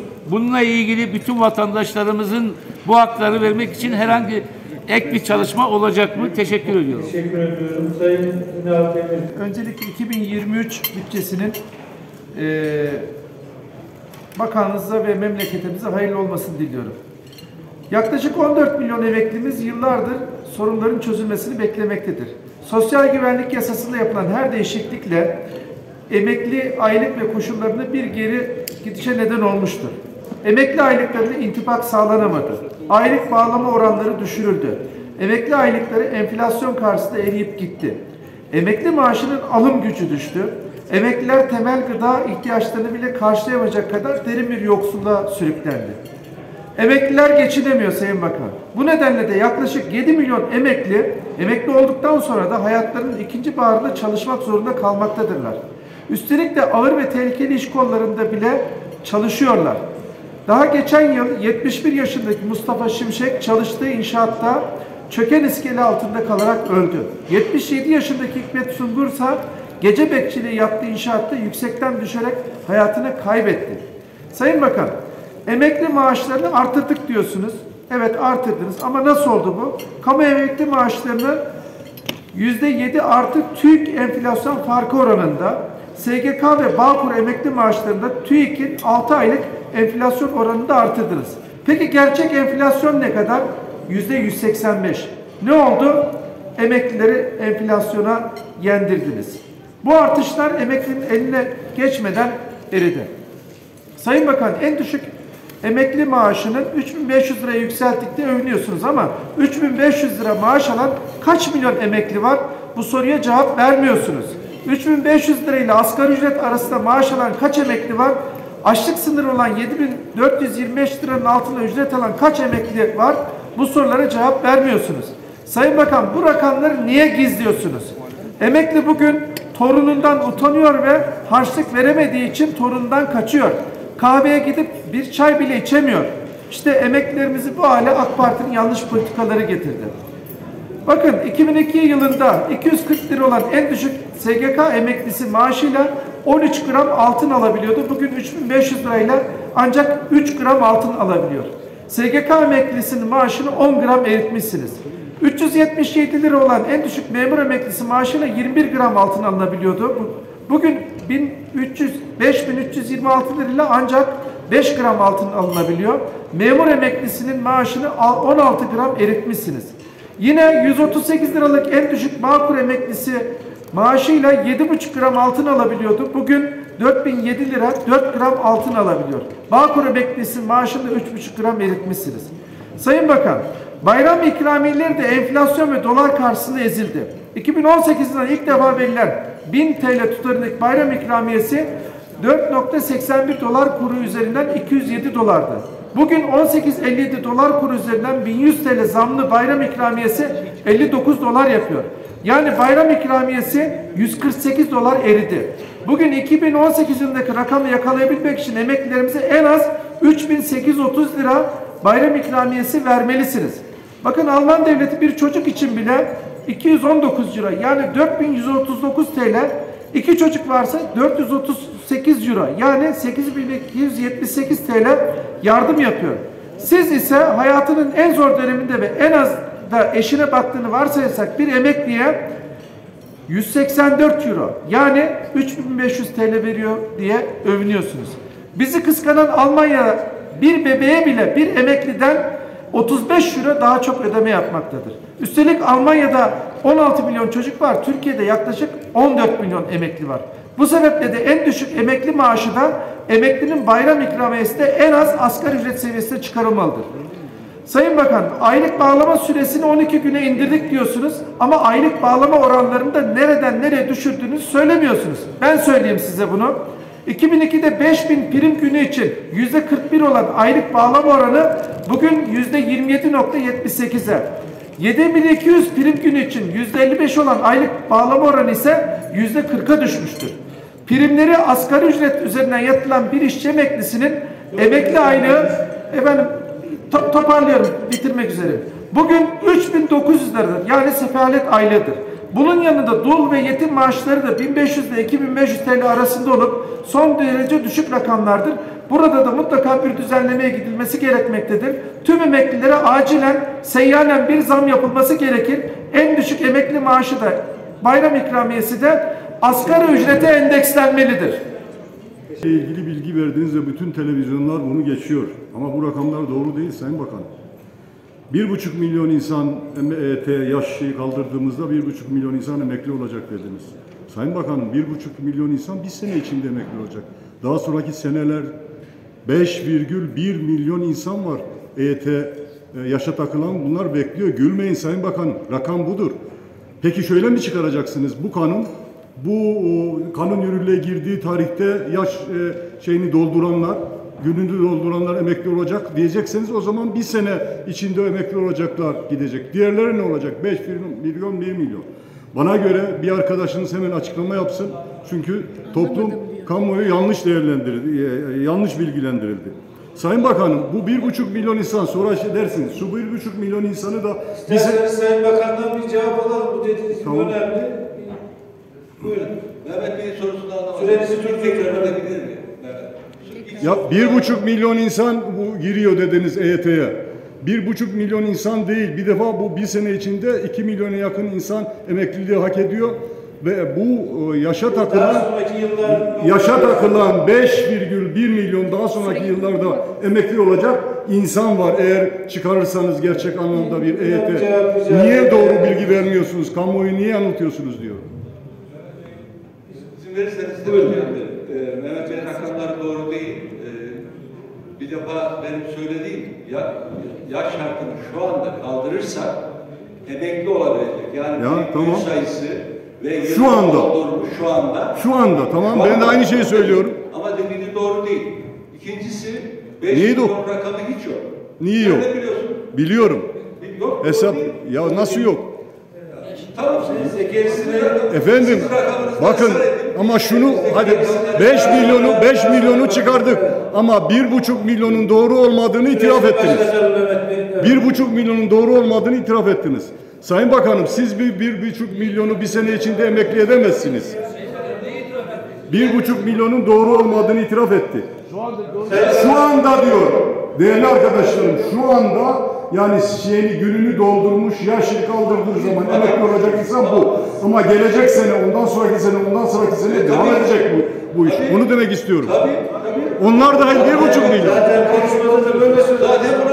Tamam, tamam, tamam ama millet sandı ki sadece bir buçuk milyon sandı. Doğru. millet Sayın Bakanım, neyse benim süremden yiyorlar. Başkanım yapmayın. Sürenizi- Sa- Sayın Bakanım, kaldı ki bu bir buçuk milyon insan, bu bir buçuk milyon insanı bir senede emekli etmeniz mümkün değil. Sizin otomasyon sisteminiz, bilgisayar si- sis- sisteminiz ve emektar programınız buna zaten uygun değil. Sorun uzmanlarınıza şimdi size söyleyecekler. Sayın Bakanım madem bu insanlar emekli olacak, bütçeye niye bir kuruş para koymadınız? Bu para nereden karşılanacak?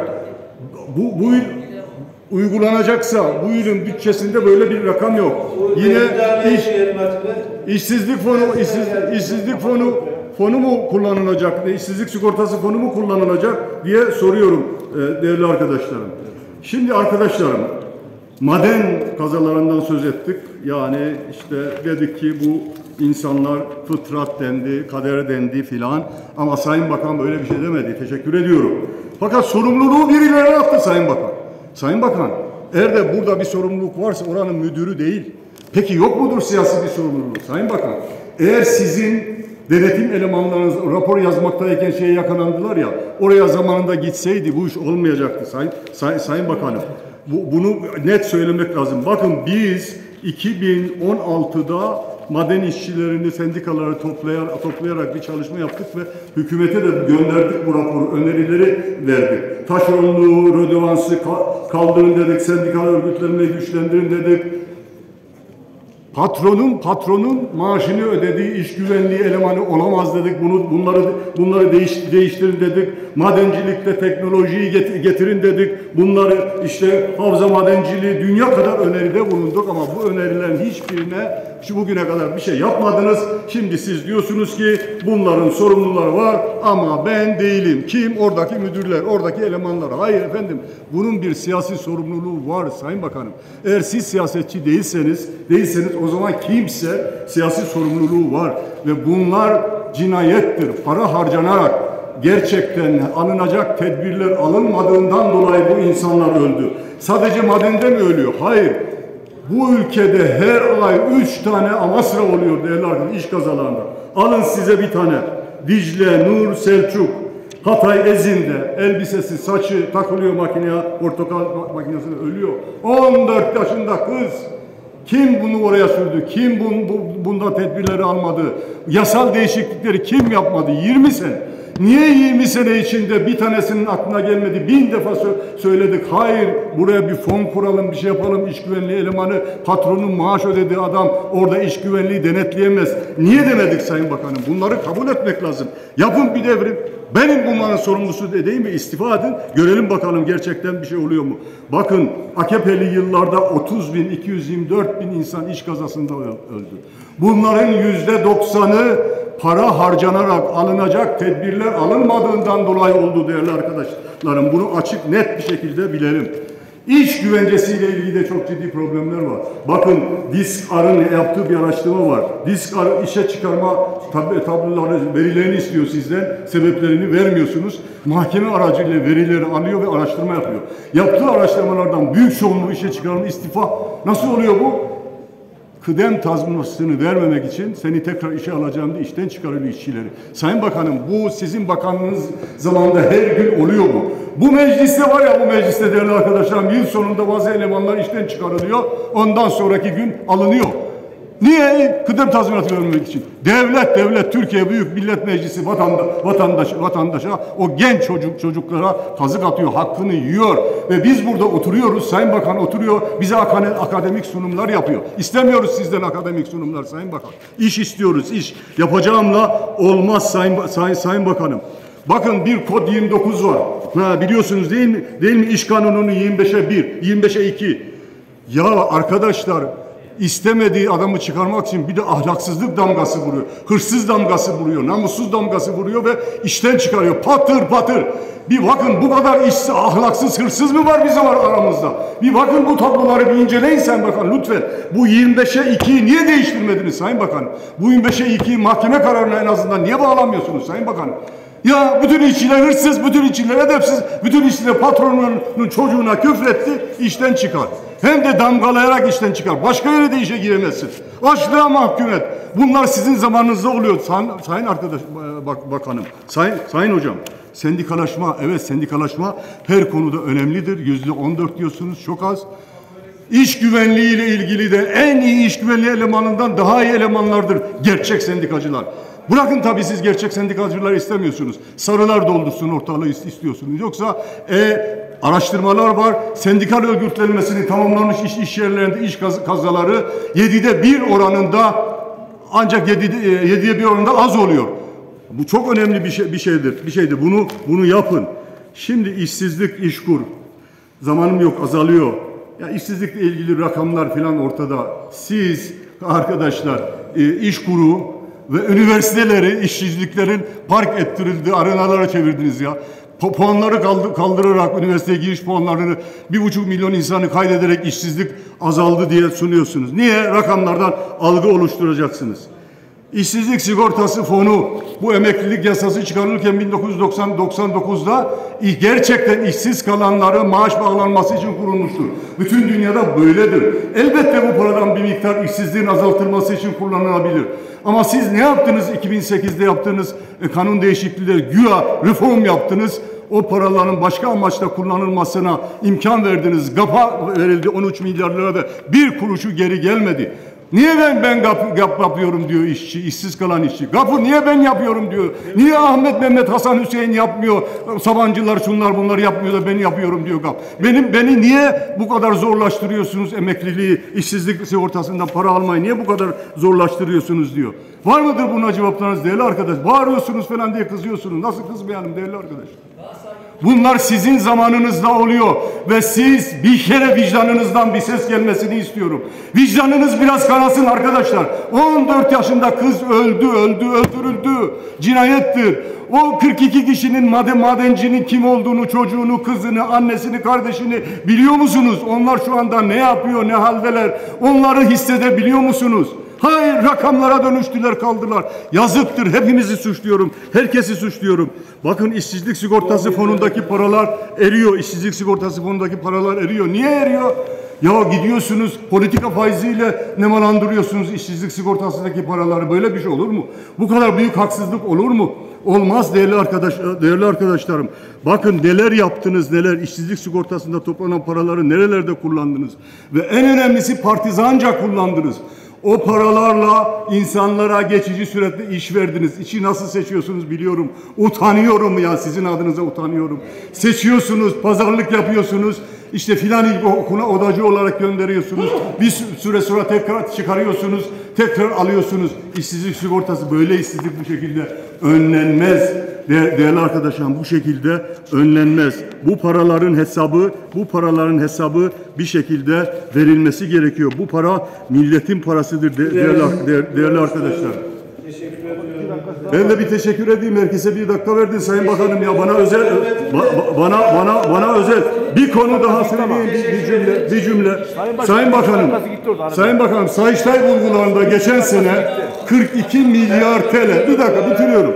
42 milyar TL e, SGK'nın Sağlık Bakanlığı'na fazla ödediğini ya- ya- yazıyordu.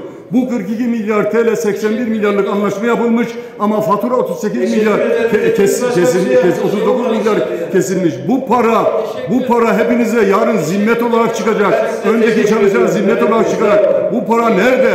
Devlet devletten çalar mı? Devlet devleti ald- aldatır mı? Bu nasıl bir şey? Tamam kardeşim kes bakalım. İşinize gelmeyen cümleleri kesin bakalım. Buyur. Teşekkür ediyorum Sayın Başkan, Sayın Bakan, değerli milletvekilleri, sevgili bürokratlar, basınımızın değerli temsilcileri, herkesi saygıyla selamlıyorum. Sayın Bakan, açıklamanı, açıklamanızda EYT'nin Aralık ayı içerisinde çözüleceğini ifade ettiniz. Öncelikle sormak istiyorum. Hazırlıklar neden EYT Federasyonu ve sendikalarla paylaşılmıyor? EYT mağduriyetinin temsilcisi bir sivil toplum örgütü olan EYT Federasyonu'na neden randevu vermiyorsunuz? Neden tek taraflı çalışma yapıyorsunuz? Biz yaptık oldu diye EYT'lilerin ağzına bir parmak bal mı süreceksiniz? Mağduriyet ortada ve çözüm isteği çok net. Tüm EYT'liler işe başladıklarında tabi oldukları yasaya göre ötelenmiş emeklilik haklarını geri istiyorlar. Herkes biliyor ki Genel Başkanımız Kemal Kılıçdaroğlu'nu ısrarla gündeme getirmesi ve EYT'lilerin mücadelesiyle gündeminizi almak zorunda kaldınız. Bu sorunu hakkıyla çözmezseniz zaten iktidara geldiğimizde biz çözeceğiz.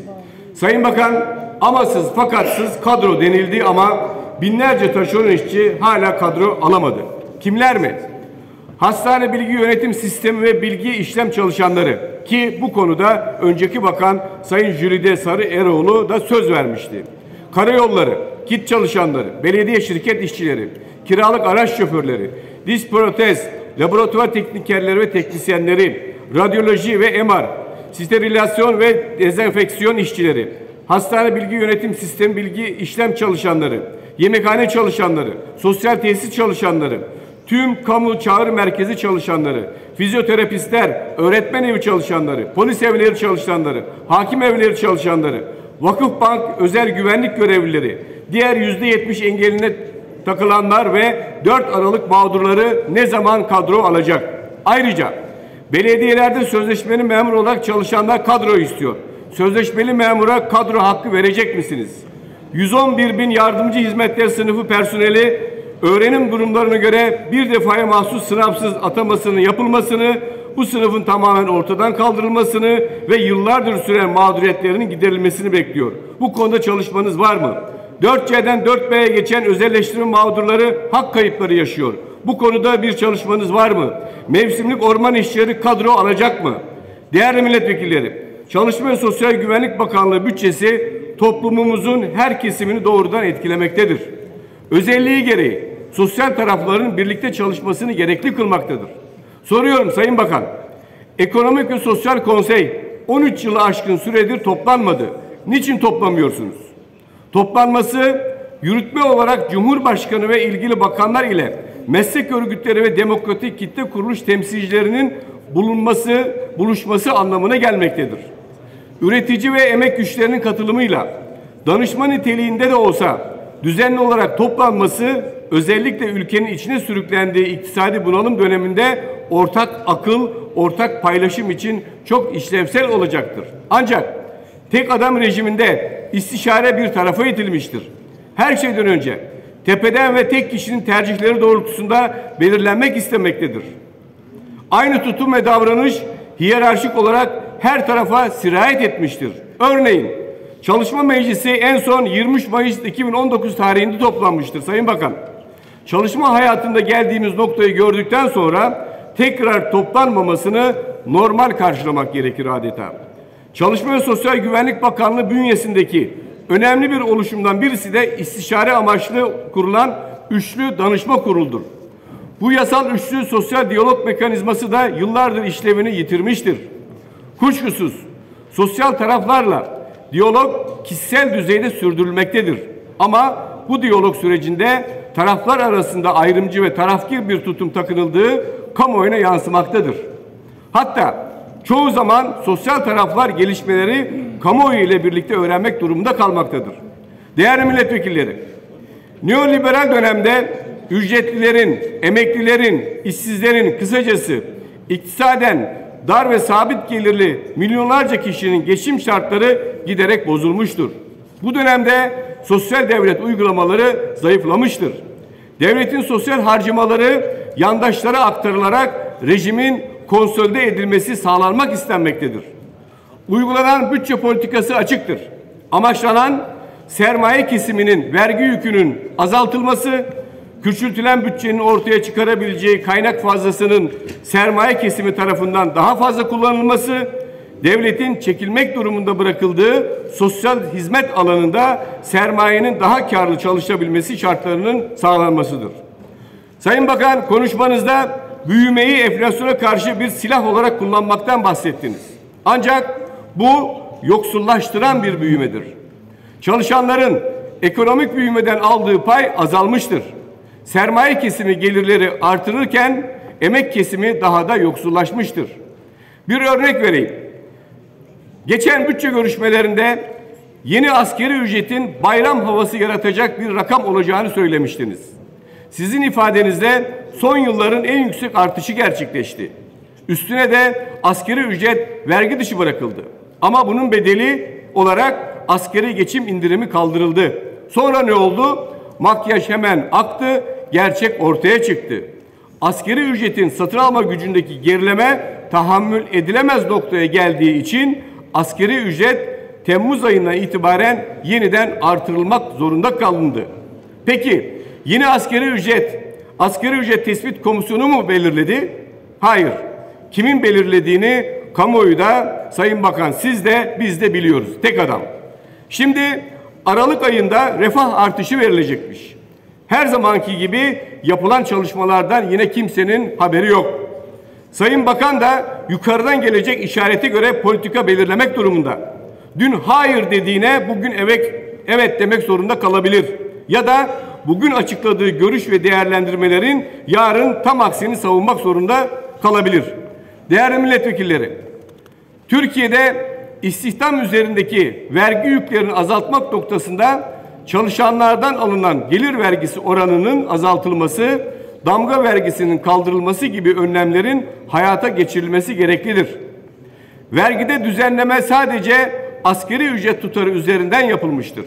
Oysa bütün ücretleri kapsayacak şekilde enflasyonist, enflasyonist dönemin ihtiyaçlarına uygun olarak gelir vergisi dilimleri yeniden belirlenmelidir. 2000'den bu yana bir yeniden değerleme oranı kuruşu kuruşuna uygulansaydı önümüzdeki yıl gelir vergisinin ilk dilimi 71 71 bin lira değil 182 bin 109 lira olacaktı. 22 yıl önce ilk dilim bürüt askeri ücretin 21 katı iken bugün sadece 4.9 katıdır. 20 milyon ücretlinin lokması dilim dilim azalmış, gizli gizli kırpılmış, emekliler ve emekçiler dilim dilim soyulmuştur. Sayın Bakan konuşmanızda sosyal devlet emeği sermayeden emeği sermaye ezdirmeyen devlettir dediniz. Ancak mevcut vergi politikaları bizzat emeği ezen araca dönüşmüştür. Bu konuda bakanlığın bir tasarrufu olacak mı? Ayrıca Sayın Bakan konuşmanızda sendikalaşmayı destekleyeceğiz dediniz. Sormak istiyorum. Anayasal bir hak olan sendikal örgütleme hakkını kullandığı için işten atılan işçiler için bugüne kadar ne yaptınız? İşten atılan işçileri ziyaret edip dertlerini dinlediniz mi? İşverenlere anayasal haklara saygı, saygılı olun uyarısında bulundunuz mu? Davalarına dahil olup sendikal hakkı savundunuz mu? Bir iş yerinde sendikal örgütlenme yeterli düzeye ulaşıp yetki alma aşamasında ya da yetki alındığında işveren itiraz ederek süreci mahkemelerde yıllarca süründürebiliyor. Mahkeme sendika lehine karar alsa işten çıkarmalar, istifa ettirmeler, tehditler nedeniyle toplu sözleşmeden faydalanacak işçi kalmıyor. Bu konuda ne yaptınız? Sayın Bakan, konuşmanızda Amasra'da maden felaketinin yaşandığı gün saat 11'de havalandırma fanının bozulduğu o aşamada işletmedeki sorumluların işi durdurup madeni tahliye etmesi gerekmesine rağmen çalışıldığını söylediniz. Şimdi sormak istiyorum. Bilirkişi ön raporuna göre patlama saat 18.09'da oluyor. Arada 7 saat var. Bu 7 saat Türkiye çalışma yaşamının röntgenini çekmek için en kritik zaman dilimlerinden biridir. Ben o işletmedeki sorumlu arkadaşların da kimsenin kılına zarar gelmesini istemediğine eminim. Ancak ülkemizdeki iş cinayetlerinde cezasızlık hakim olduğu için Soma gibi bir felakette bile ailelerin ve kamuoyunun adaleti talebini karşılayacak bir ceza ortaya çıkmadığı için karar vericiler sorumsuzca davranabiliyor. Siz de teyit ettiniz ki, bitiriyorum son cümleleri başkanım. Siz de teyit ettiniz ki canlarımızı göz göre göre gelen bir felaket sonra sonrası toprağa vermişiz. Kaza kader değil cinayet dediğimizde haksız mıyız? Ancak size teşekkür etmek istiyorum bir konuda. En azından bizim yıllardır dile getirdiğimiz işverene bağlı işçi sağlığı ve iş güvenliği denetimi olmaz ilkesinin haklılığı konuş haklılığını konuşmanızda teyit ettiniz. Madem böyle düşünüyorsunuz gelin işçi sağlığı ve iş güvenliği denetiminden taşeron tamamen silecek düzenlemeyi hep beraber yapalım. Sendikaları da işçi sağlığı ve iş güvenliği denetiminin bir parçası kılalım. Bütçeniz hayırlı olsun. Teşekkür ediyorum. Cümlene cevap vereceğim. Gene bir cümle. Tamam övgü için teşekkür edecek. 28 Nisan 1999'da seçim oldu. Genel başkanımız 1999'un iki ayından sorumlu. Onu söylemek istiyorum.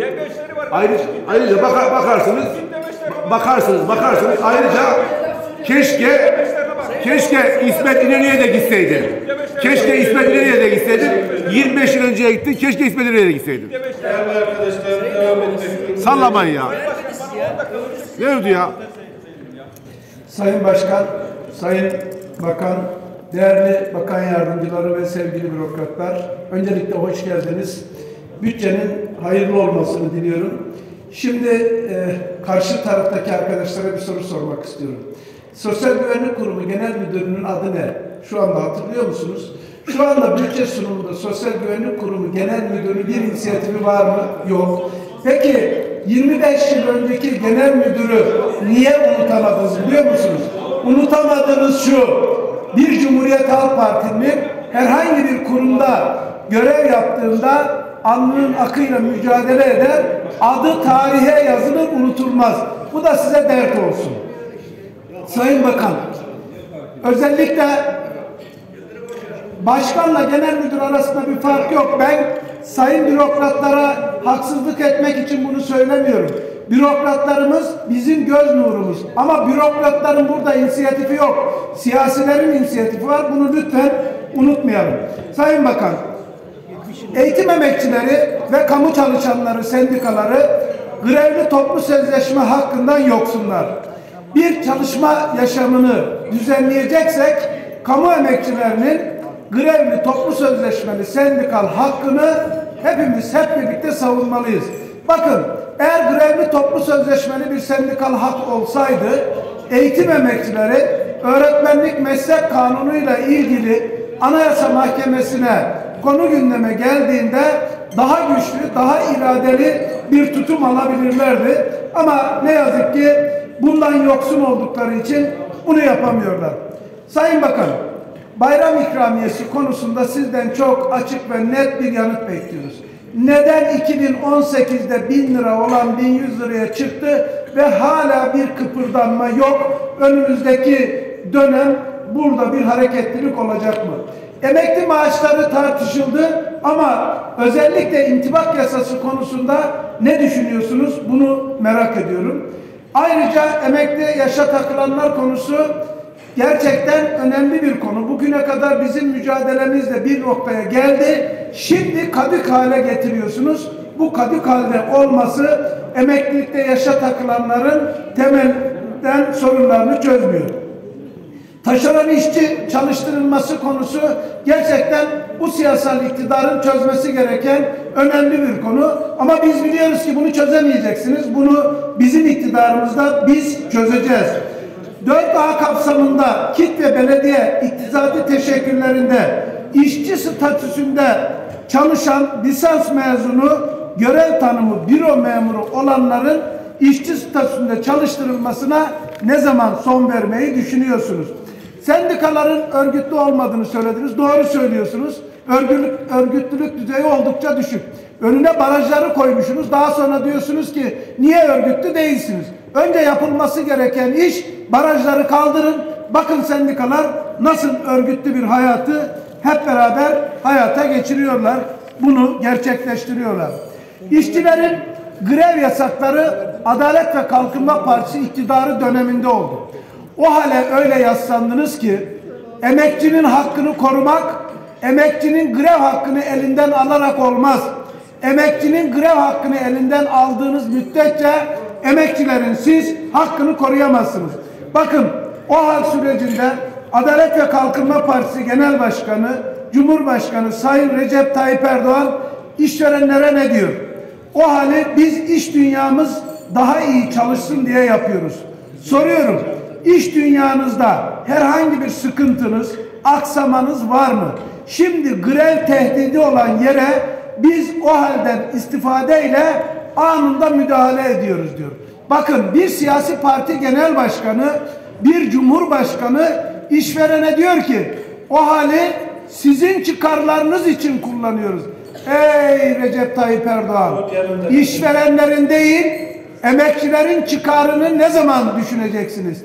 Ama biz işçiler, işverenlerin de emekçilerin de çıkarlarını 85 milyonun geleceği için birlikte düşüneceğiz. Çünkü bu ülkede barışa, huzura, demokrasiye, özgür yaşama ihtiyaç var. Bunu da biz gerçekleştireceğiz. Teşekkür ediyorum Sayın Kaya. Değerli arkadaşlar bir 20 dakika ara vereceğim ama bir liste okuyayım. Önce önce bakanlıklardaki greve yol ver. Grev yasaklamayı bırak. Grev yasaklamayı bırak bak nasıl grev oluyor. Bak Çankaya Belediyesi sana dert olsun. Abdülhatif Şener Bey ile devam edeceğim. Sonra İbrahim Aydemir Bey.